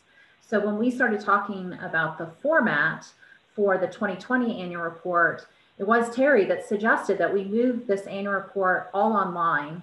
Um, it really gives us an opportunity to showcase the work of the grantees and to link to a lot of our resources that we already have on our website. So for example, when we talk about any grant project, we have their grant ID number. You can hyperlink, you know, it's click on that grant ID number and it will take you directly to the grants funded page that gives more of an explanation about that project. Um, you know, we have more than 100 different examples of grantees in this annual report. Um, and we were able to feature the work of 41 different community organizations, academic research institutions, and companies through this. So it's it's really different than any format that we've used before. And we're always trying to find ways to talk about the work that the grantees do, you know, whether it's the grantee presentations that we kick off the oversight committee meetings with, um, or the activities updates that we give you every month. But uh, the annual report is a really important part of that. I, I want to focus on just three quick um, parts of the report. The first part is in our fiscal year 2020 highlights.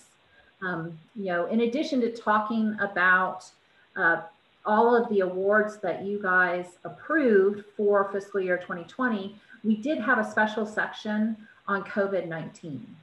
So not, not only do we talk about how this impacted the grantees and what CPRIT did to help address those stresses for the grantees, but we were also able to talk about and feature how our grantees were able to pivot, especially those grantees that are providing prevention screening services or had ongoing clinical trials. So one of the examples that we gave was Dr. Berenson's COVID-19 clinical study that she was doing um, and you know talked about how they were able to continue that study even while Galveston was in its lockdown in the initial months. Another thing that we were able to feature in this section is the work, um, the cancer research and technology that CPRIT has funded over the past decade, how some of that work was also able to help the vaccine, uh, vaccinations and treatments for COVID-19. So it's a great example of how the research that's being funded for cancer is also helping in other areas, um, not only in Texas, but worldwide. So an, another place in our annual report um, that we were able to focus on is in the R mission. You know, so this was a way that we could really connect the, you know, CPRIT's three-part mission, you know, to um, invest in the academic prowess of our institutions, uh, to create and expand the life science infrastructure in Texas, and to fund innovative cancer prevention and cancer research projects. So one of the many things, and you can see as we're scan as we're scrolling through this, one of the many things that we were able to feature was the work that CPRIT does in terms of training the next generation of cancer researchers. You know, so instead of just talking about uh, that we fund, you know, 21 different research training programs at nine different institutions across the state, we were able to give specific examples of each, you know, of, of, of some of the trainees who've gone through the program and what they're doing. Another, uh, the last thing that I want to highlight for you is in the, the, the planning and priorities section. You know, so this really is a feature of the program priorities that the oversight committee passes every year. So, you know, instead of just providing the program priorities, we were able to show how those priorities are in practice in each of the programs. You know, so for academic uh, research, we highlighted the program priority for childhood cancer research, um, for product development research. We were able to um, showcase the 17 companies that have developed the intellectual property that was created at academic institutions in Texas. And then the one that I wanted to show you was the prevention um, program priority and practice. This is the underserved populations. And the project, oops, the project that we're focusing on is a project that we funded for the Community Network for Cancer Prevention. So that's a group that's um, Baylor College Medicine, Harris Health System, and other partners. Um, and with this, we were able to tell the story of um, their work in targeting the Vietnamese community and increasing breast cancer screenings and, and colon cancer screenings. And we were able to provide even the, the um, videos that they use, that they put on um, on uh, TVs within um, Harris County. You know, just gives you a lot more feeling for what it is that CPRIT and its grantees do. So uh, I, I hope that you get a chance, if you haven't done so already, to really look through the annual report. And I'll say, you know, it's never too early to start thinking about the fiscal year 2021 report. So if oversight committee members have any ideas on grantees or grant projects that they'd like to feature, you know, please let us know and we'll start working on those. Thank you, Kristen. Are there any uh, questions for uh, Wayne or Kristen from the Oversight Committee? Uh, the only question I have is, and I'll preempt Montgomery for the question is, how uh, how recent is your picture in that annual report, Wayne? Just just curious. It's fairly recent, um, and I I suspected that uh, I might get a comment or two about that. I will point out, uh, and Kristen better verify this, that, that that picture went in there over my strong protest. Uh, but they thought it would be a nice, nice feature. Uh, I'm not sure I like it being the first thing that pops up, but. well, if you can't Photoshop it, that's okay. I think uh, they, I think they did Photoshop it. and uh, and I want to remind the uh, members of the Oversight Committee that uh, Dr. Rice is the chairman of the uh, uh, selection committee recruitment. And if there are any questions or issues, they need to go to Dr. Rice. And uh, it's nice to uh, see you. I thought you were a helicopter pilot for a while there with your earphones on, but uh, uh, it's nice to have you back. Okay, let's move on. Mr. Margo? Uh, yes. I want to state on the record that Dr. Cummings has lost his phone power also. All of the phone lines are down, so he is no longer participating in the meeting. Thank you, Kristen. They're going through a lot in San Angelo right now, as well as the rest of Texas. We actually are coming out of it. Uh, most everything's melted here and and it's warming up, but uh, it wasn't good. Um, so the chair recognizes Mr. Burgess to present the Chief Compliance Officer's report. Good morning, Mr. Margo. Thank you. Good morning, Oversight Committee members.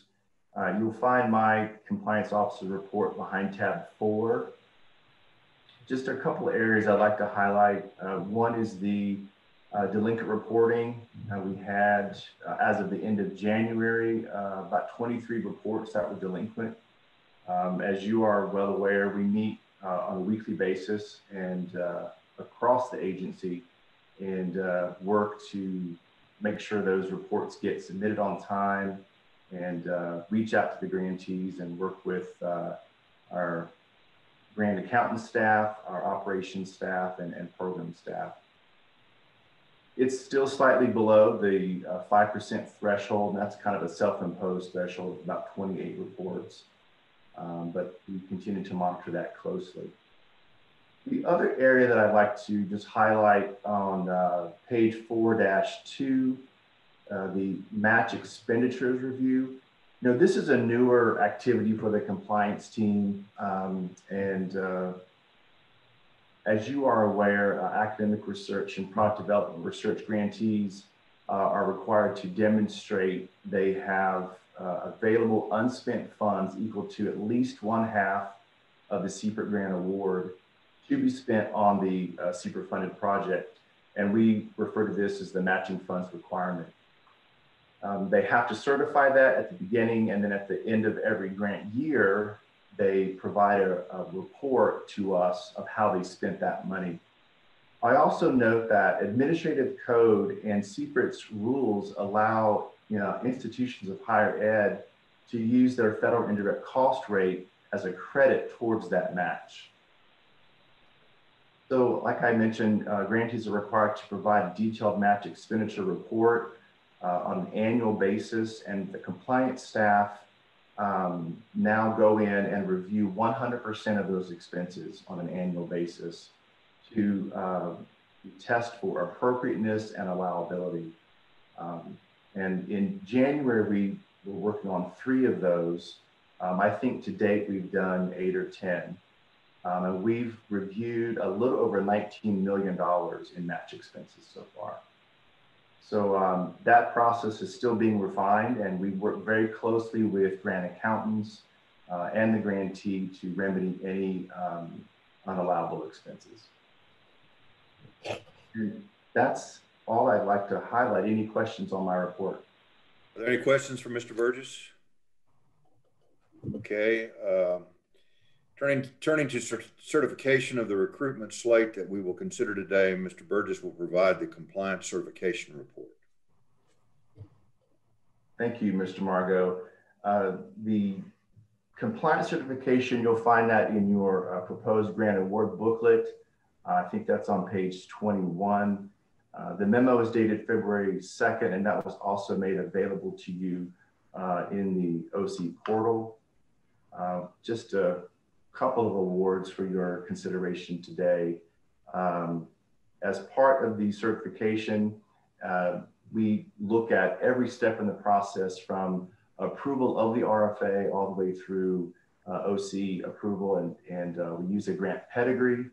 Uh, as part of my certification, I have conversations uh, conferred with CPRIT staff and GDIT or General Dynamics Information Technology, our third party grants administrator and I review uh, all the supporting documentation, uh, including third-party observer reports, uh, and, uh, peer review meetings of all the peer review meetings, conflict of interest, sign-out sheets, uh, post-review statements. Um, I am satisfied that the uh, application review process uh, followed um, applicable laws and CPRIT's administrative rules, and I certify the academic research award recommendations for your consideration this morning.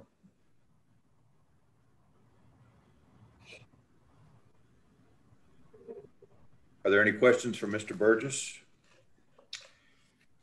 Okay, hearing none, we will, we are on agenda item eight now. The chair recognizes Dr. Wilson to provide the academic research program update and introduce the program integration committee's grant award recommendations. Thank you. I'm going to begin with um, the uh, PIC award recommendations. Um, there are two shown in this uh, slide uh, in response to the recruitment of established investigator RFA. Um, the first is to University of Texas Health Science Center, San Antonio, um, to enable recruitment of Alexander Mazin, a uh, biochemist currently at Drexel University in Philadelphia. Um, he is expert in renown in the area of DNA repair. And his recruitment is notable um, in that the uh, UT Health Science Center San Antonio is building a critical number of uh, individuals with expertise in this area. You heard from Dr. Sung last Oversight Committee meeting about the uh, importance of DNA repair in both novel therapeutics as well as diagnostics. So um, hopefully this will be a successful recruitment to continue to build a area of real renown in Texas. Um, the second is an established investigator award recommendation to Baylor College of Medicine, uh, enabling the recruitment of Othon Iliopoulos. Uh, Dr. Iliopoulos is a physician scientist currently at Massachusetts General Hospital and Harvard Medical School.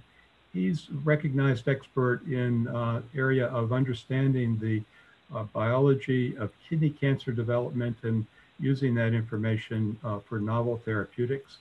His recruitment to Baylor College of Medicine would be in a leadership position for their translational research program. Um, so these are the two pick recommendations for um, the Oversight Committee consideration this morning. Any questions for Dr. Wilson? Hearing none, Mr. Burgess certified compliance for the Academic Research Award process. It is my understanding that no Oversight Committee member reported any conflicts of interest. Are there any conflicts of interest not reported? Members, you have the list of applications and grant amounts recommended by the PIC for the Academic Research Grant Awards. We'll approve the PIC recommendation if two thirds of the Oversight Committee members agree. There is one academic recruitment slate constituting two grant recommendations. Rather than taking a separate vote, I will ask for a vote to approve both awards. If a member wants to consider an award recommendation separately, please make a motion to do so now. Hearing none, I will entertain a motion to approve the PIC's two recommendations for the recruitment of established investigators. So moved. Second. Second. Okay. All in favor, vote aye. Aye. Aye. Any opposed? Hearing approval from at least two thirds of the members, the motion carries. I will entertain a motion delegating contract negotiation, negotiation authority to the CEO and CPRIT staff and to authorize the CEO to sign the contracts on behalf of CPRIT. So moved. Second. Second. All in favor, vote aye. Aye. Aye. Any opposed? The motion carries. The chair recognizes Ms. Magid to provide the Chief Prevention Officer's report.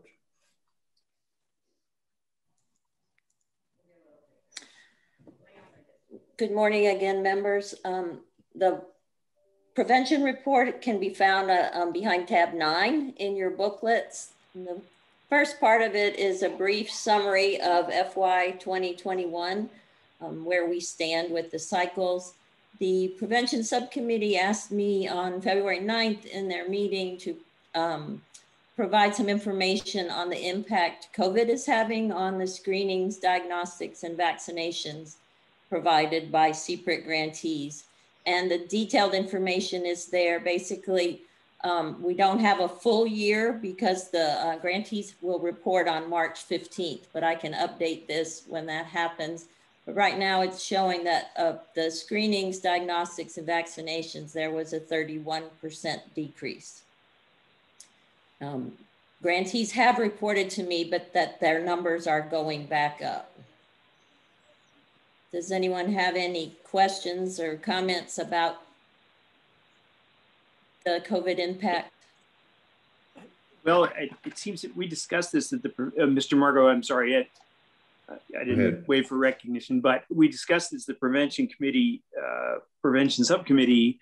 It seems like what's brewing here is a a massive wave of trouble because people are not keeping up with their regular uh, appointments. And I just wonder if there's anything that we can do to, um, you know, get the word out that people ought to be keeping up with screenings and regular appointments so that we don't have a flood of problems resulting from inattention to continued health.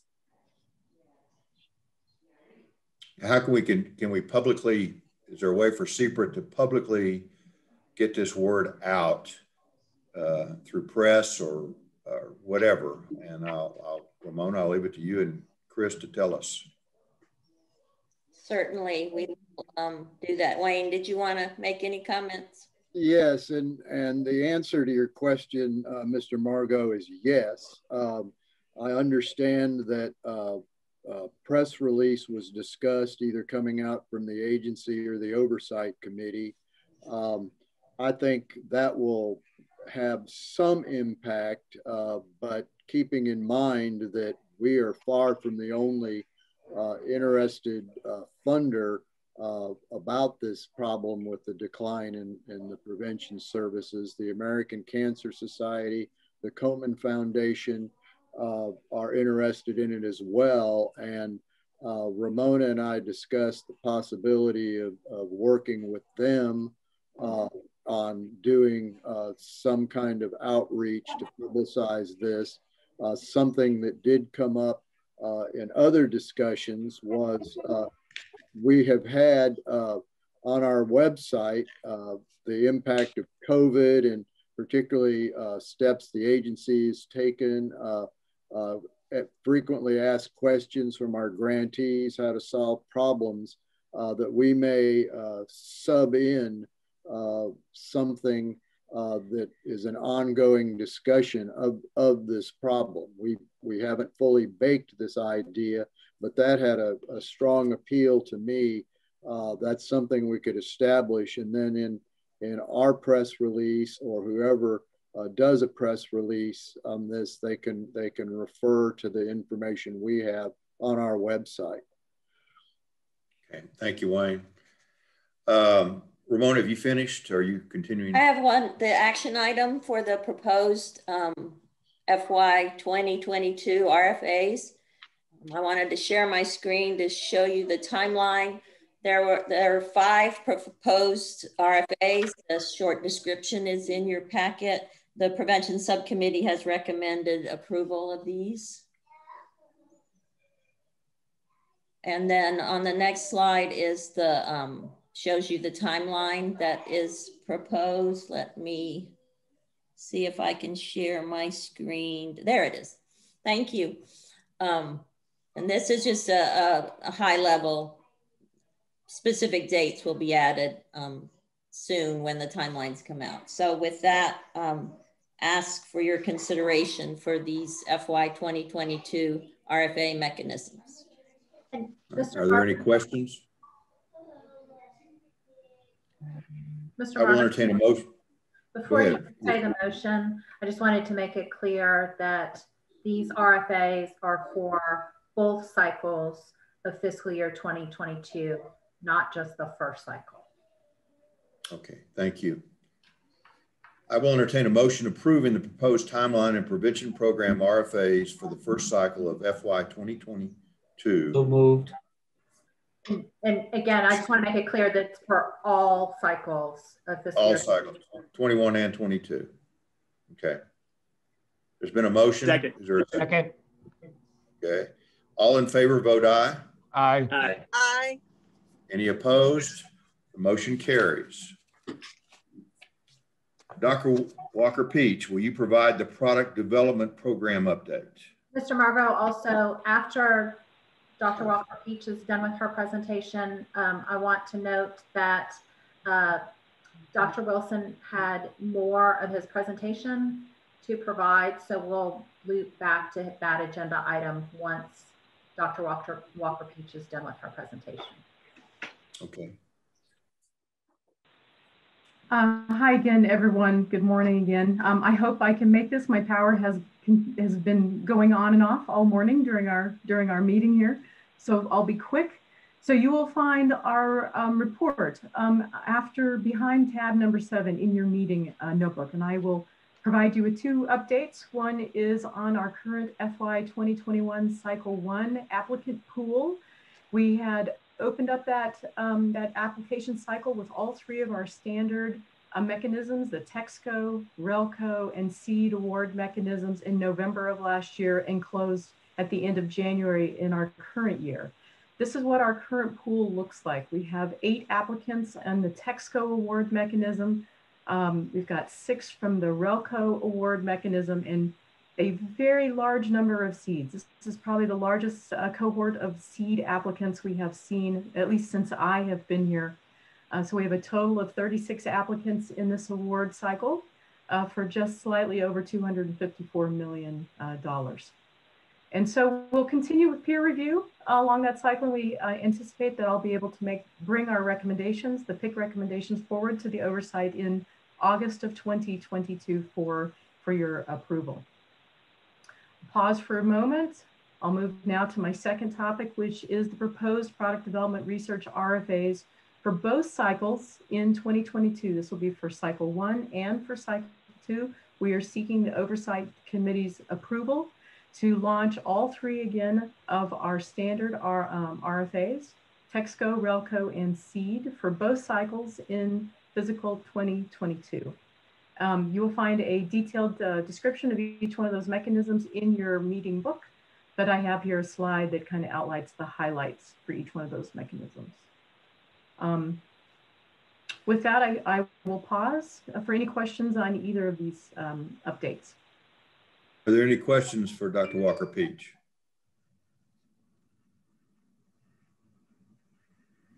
Have you finished your presentation, Cindy? I have.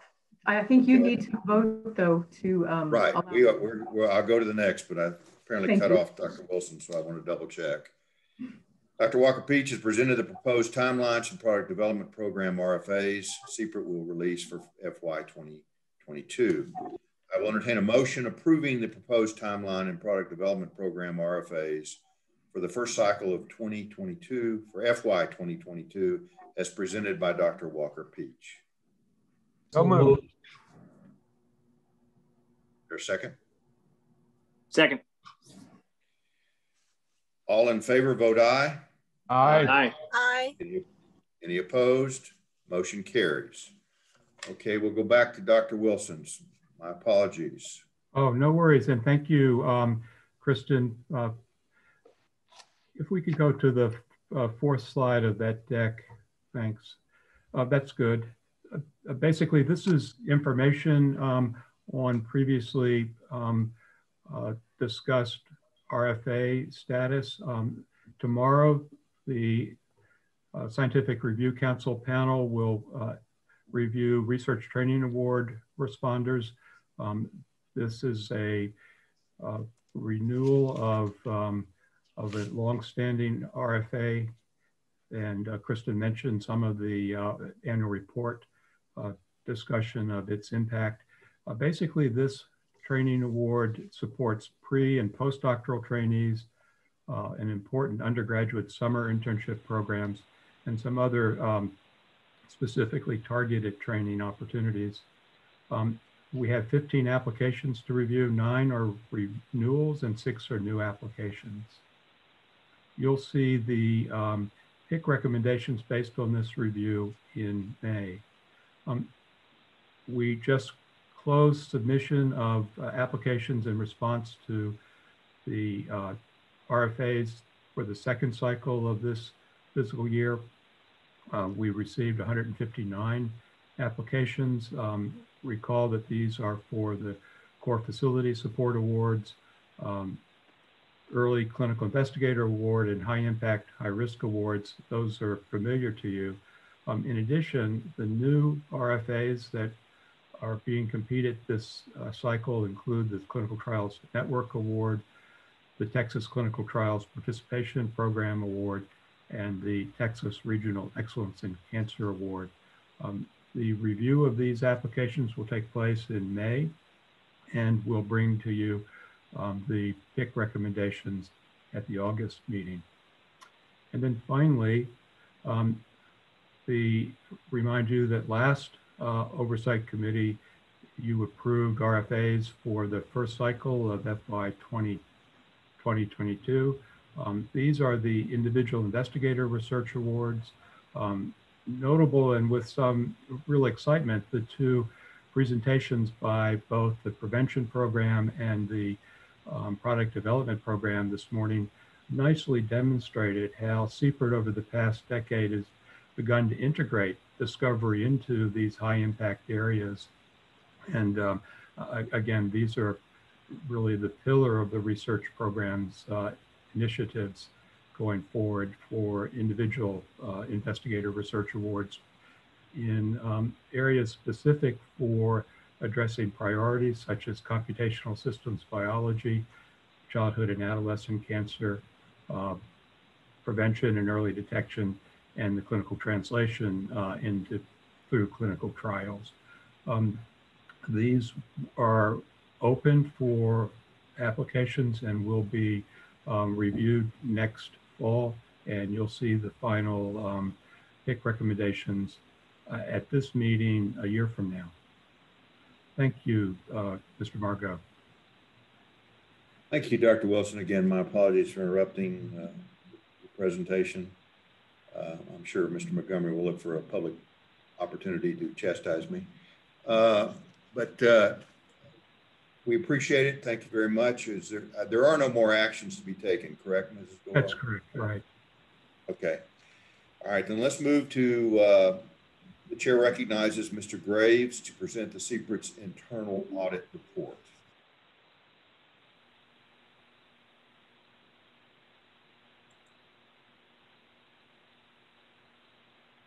I'll give him a second, but it is possible that he may be having connection problems. Um, he was one of them that let us know ahead of time that his power was going in and out. And, and Kristen, oh, okay. I have tried to contact him as well to see if his connection, he's appearing on, but he's not been able to respond to me either. Okay. Uh, Alyssa, do you want to go ahead and, and give the presentation?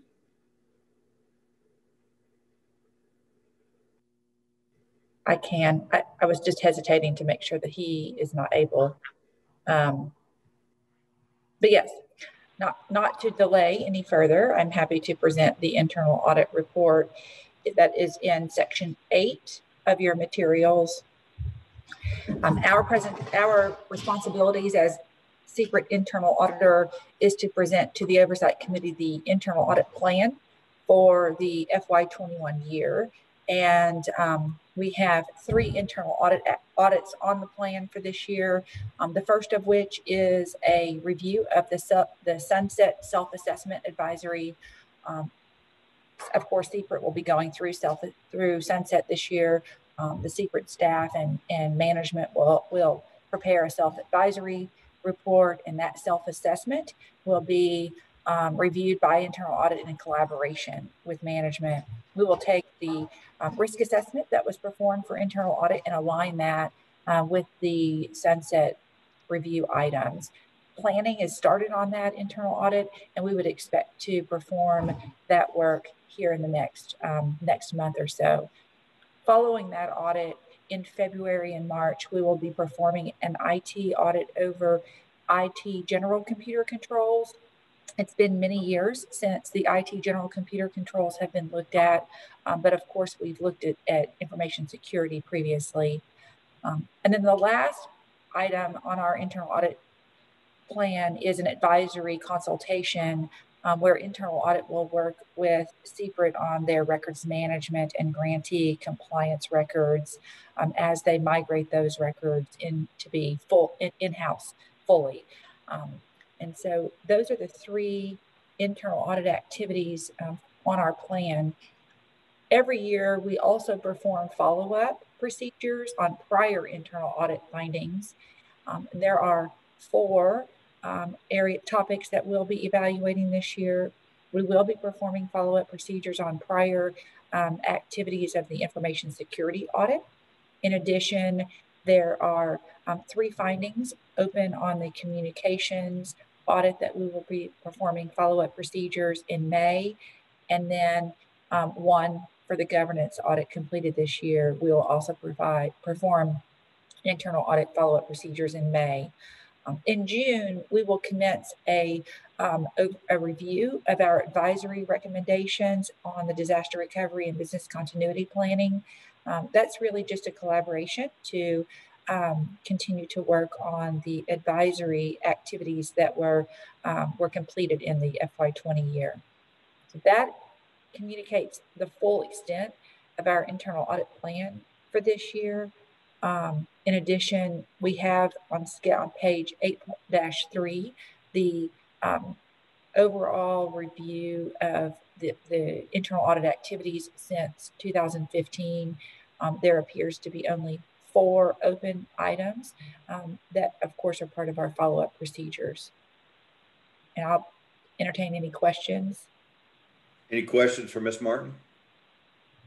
Very quickly, Ms. Martin, just uh, on the on the chart that you've given us yes. listing everything has happened since 2015. The, the last line is 2018 communications follow-up. What are the that had that line has more numbers on it than any other. What are the what are the items for communications follow-up? Yeah, so um, this year we were unable to perform the uh, follow-up procedures on that audit. Um, there's only three open findings. One was high and two are moderate. Um, the nature of those findings, I don't have off the, uh, at hand right now. Um, but that particular audit, the, the, follow-up procedures in the 20 year weren't unable to be performed. It just so right. Okay, you just yeah. couldn't get to it this year. Okay, it, thank you. Right. Yeah. Craig, you're muted. This question's really uh, uh, sort of for Wayne. Uh, when you sent around a uh, email about a state audit, is there any update on the uh, state audit? Yeah, and I think uh, Heidi may be planning to give greater detail on it, but they are still doing the initial fact finding for it. Um, I don't expect we are going to hear anything for a couple of months, but uh, before I get too far out in front of Heidi, I'd rather have her talk about the, the specific time frame for it. Okay, are there any other questions for Ms. Martin? Thank you. Thank you. Turning to agenda item 12, the chair recognizes Mr. Roberts to present his three appointments to the Scientific Research and Prevention Program Committees.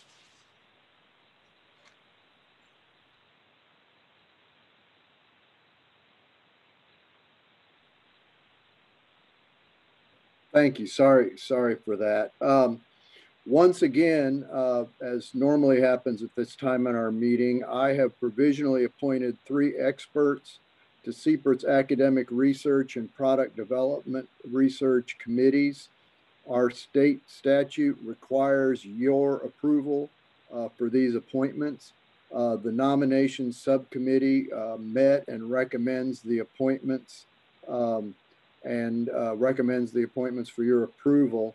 Uh, both of the affected program subcommittees reviewed uh, the nominations as well. And with that, um, Mr. Uh, Margo, I request your approval. Any questions for Mr. Roberts or the nominations subcommittee? So moved. Let me ask, is there a motion to approve the CEO's three appointments to the Scientific Research and Prevention Program committees? Who So made the moved. motion? Second. Okay. All in favor, vote aye. Aye. Aye. Any opposed? Motion carries. The chair rec- now recognizes Ms. Eckel to discuss the proposed administrative rule changes. Thank you, Mr. Chairman, and good morning, everyone.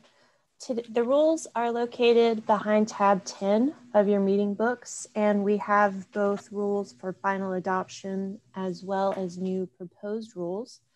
Uh, I'll start with the final adoption. These were initially presented at the November Oversight Committee meeting, um, changes to Chapter 703. The uh, amendments were published in the December 4th edition of the Texas Register for public comment, and we did not receive any public comments. So they're presented for final adoption um, as they were initially proposed um, in November. And unless there are any questions about the final order, I will move on to the proposed changes. Um, which impact chapters 702 and 703. The first change is to section 702.19b, and this change provides a narrow exception to the general prohibition of communication between a grant applicant and a peer reviewer. Uh, this exception would allow a peer reviewer who is assigned by the chairperson of the Product Development Review Council, or PDRC, uh, to participate in the due diligence and intellectual property and business operations due diligence interview stage of review. And this this would allow uh, just to make sure that the, the full PDRC has all the information that they need um, when reviewing their grant, when reviewing grant applications after due diligence review. And all grant applications that reached due diligence review would be undergoing the same process. So each would um, have a peer reviewer assigned during that in intellectual property and business operations due diligence review.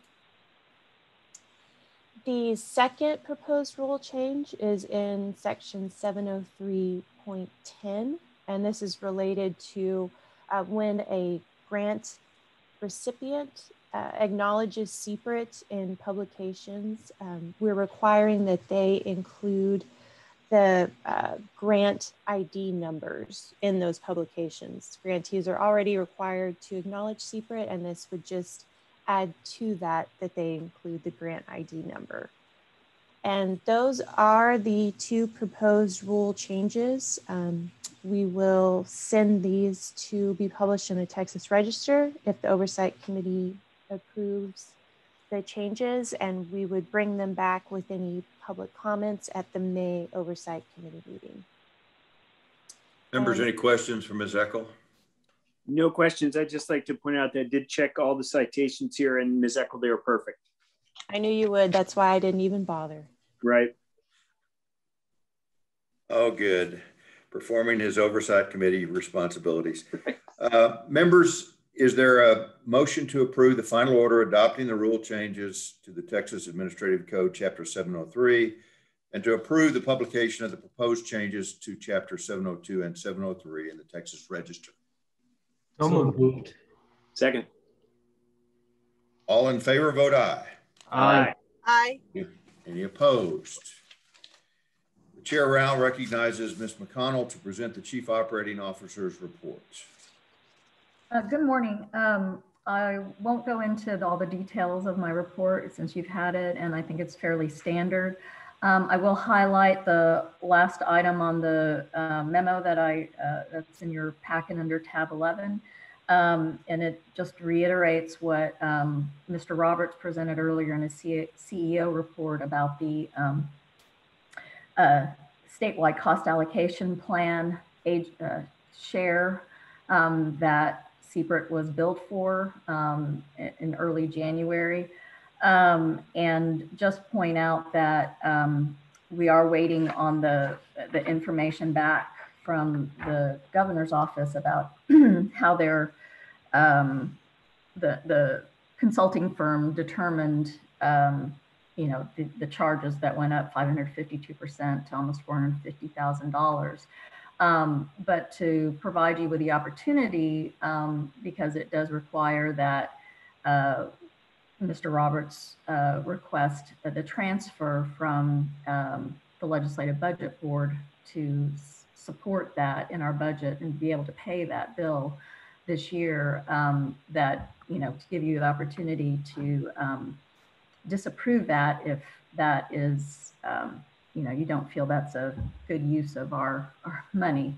Um, but uh, unfortunately, that is due uh, most likely to the controller's office in the state treasury. Um, So without that, uh, then I'll finally um, respond to Dr. Rosenfeld's earlier question about the status of the state auditor's report or state auditor's um, audit of CPRIT grant management processes.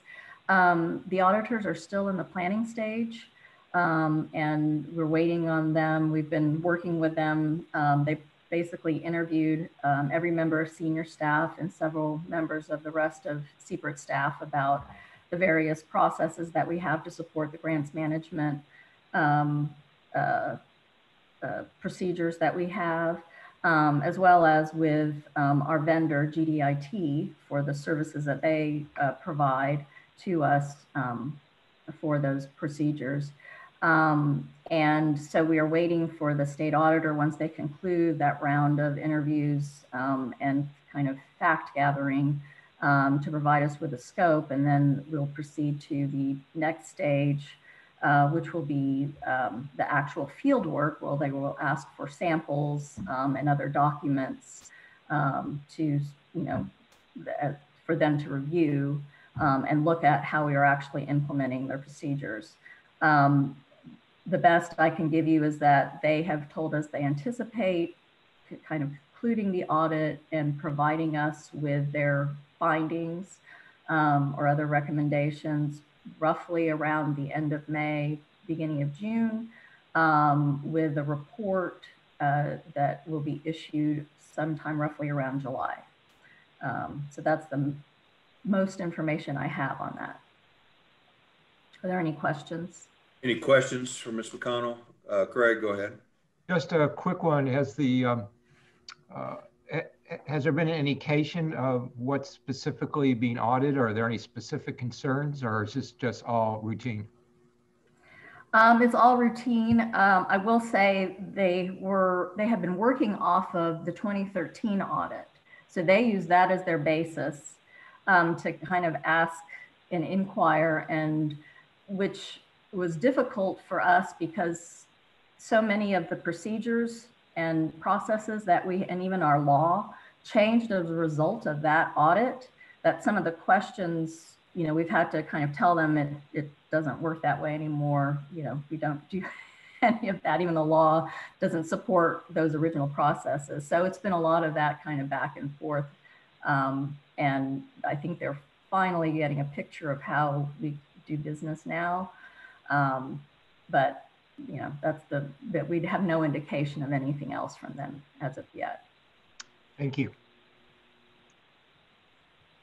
Uh, Dr. Rice and I were interviewed by them as well, and I thought the questions were pretty perfunctory, and, and they uh, they were still in a learning curve, but I didn't hear anything of great concern at all. Um, any other questions for Ms. McConnell? Wayne, did you want to say anything? I'm fine, thank you. Okay. All right, moving on to the next agenda item, Ms. McConnell, will you explain the recommended contract approval? Yes, thank you. so under tab 12, you have the uh, memo recommending um, the search firm services with Spencer Stuart um, for an amount not to exceed $175,000. Um, I will say that the, uh, the staff uh, review committee um, did have three uh, three proposals that they reviewed and determined that the uh, response from Spencer Stuart um, was the best value to the agency, um, both for their experience in this area and for their ability to be able to attract um, and or find a candidate or candidates um, who would meet CPRIT's requirements for the chief scientific officer position, um, which is very highly specialized. Um, and you know we've had a, a Dr. Wilson is the third in line of some stellar um, CSOs that we've had. So we want to continue that tradition. Um, I will also note that, and it's pointed out in the memo, that Spencer Stuart has participated and been our vendor um, in all of our prior searches. Um, so we also have worked with them in the past. Um, and, uh, you know, so we have some uh, degree of comfort too with the kind of quality um, and the services that they can provide to us. Um, so with that, um, I will entertain any questions. Any questions? Uh, Mr. Montgomery? One, I think I think Dr. Wilson came to us partly uh, through happenstance. I mean, it, I, I, believe that the, the, candidates we had all sort of dropped off, and Dr. Wilson said, "Well, you know, what about me?" To, this prompts me to say, "Are we also alerting our own network of grantees and others that we know that we are looking so that we get the widest possible reach. In, other words, we're not just saying, hey, Spencer Stuart, go find us some people. We are also telling or asking Spencer Stuart to tell our grantees or making sure that we are penetrating everywhere we should to look for someone. The answer to that is yes. Uh, and I've already talked to uh, one president of a uh, comprehensive designated cancer center. I intend to talk to uh, the others um, uh, in the next week or so. Um, uh, provide them. I, mean, I didn't want to get too far out in front of the search firm uh, because there are some issues that can only be addressed by the by the search firm. Uh, but um, the, yes, we are. We I I, I am trying to, to cast a, a wide net in addition to Spencer Stuart's. Any other questions? Uh, Ms. McConnell? Yes. Ambrosio? Yes. Um, Go ahead. The, the fee for 175,000, that's all in, meaning including the, I just want to make sure, including the out-of-pocket expenses, that's separate. That the out-of-pocket expenses are separate. And if they're separate, is there a maximum you, you guys allow or no?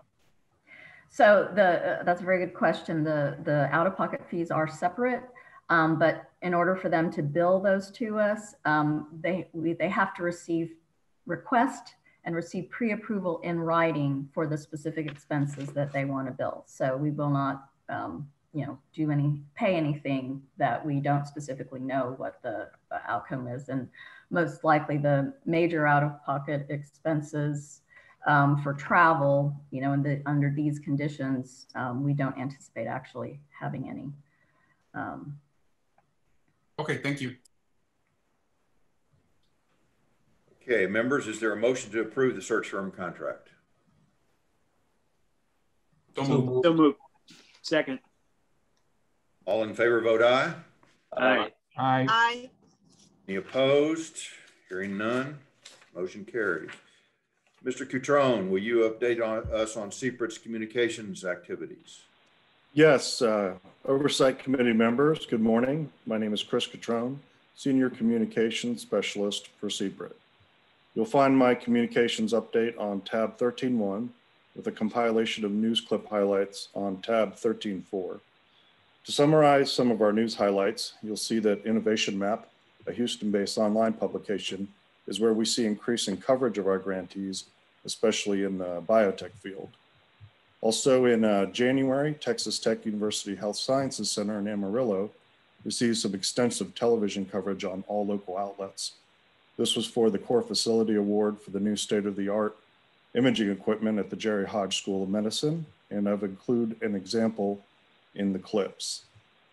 Moving on to uh, outreach activities, on December 8th, 2020, Communications assisted Brazos Valley Economic Development Corporation for a webinar event about CPRIT funding opportunities.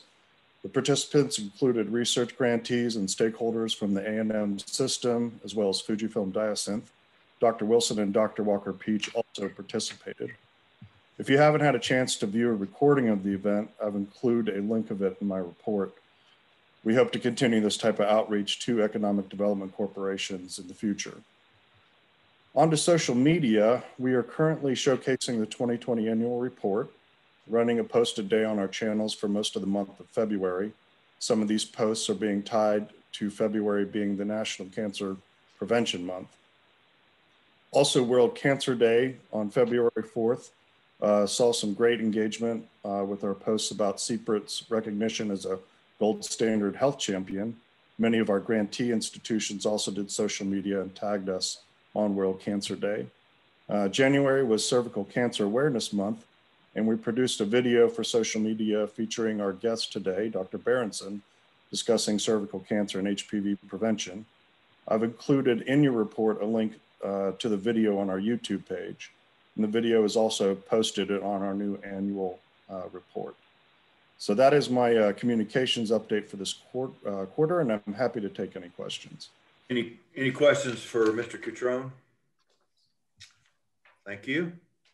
Thank you. We will not, we will not take up standing agenda items 17, 18, or 19. The next regular oversight committee meeting will convene on May 19th, 2021. CPRIT expects to hold the meeting by video conference. If there is no further business and no objection, the chair moves to adjourn this meeting. Is there a second? Second. Well, I do have to say that my package arrived, but it did not contain any chocolate chip cookies. Actually, there's supposed to be oatmeal with butterscotch morsels, and I miss those as well, frankly. Yeah. Well, it, that never happened when I was chairman. I'm just saying. Yeah, well. Okay. All right. They're taking advantage of motion to adjourn. They're taking advantage of me. Out here in El Paso, they just take advantage of it, you know. We're used to separate time zones, everything else, you know, it's it's my cross to bear. Um, if there are no further business, no objections, chair moves to adjourn this meeting. Is there a second? Second. Second. All in favor? Aye. Aye. Thank you all. Motion carries. Thank, thank you, members. Hey,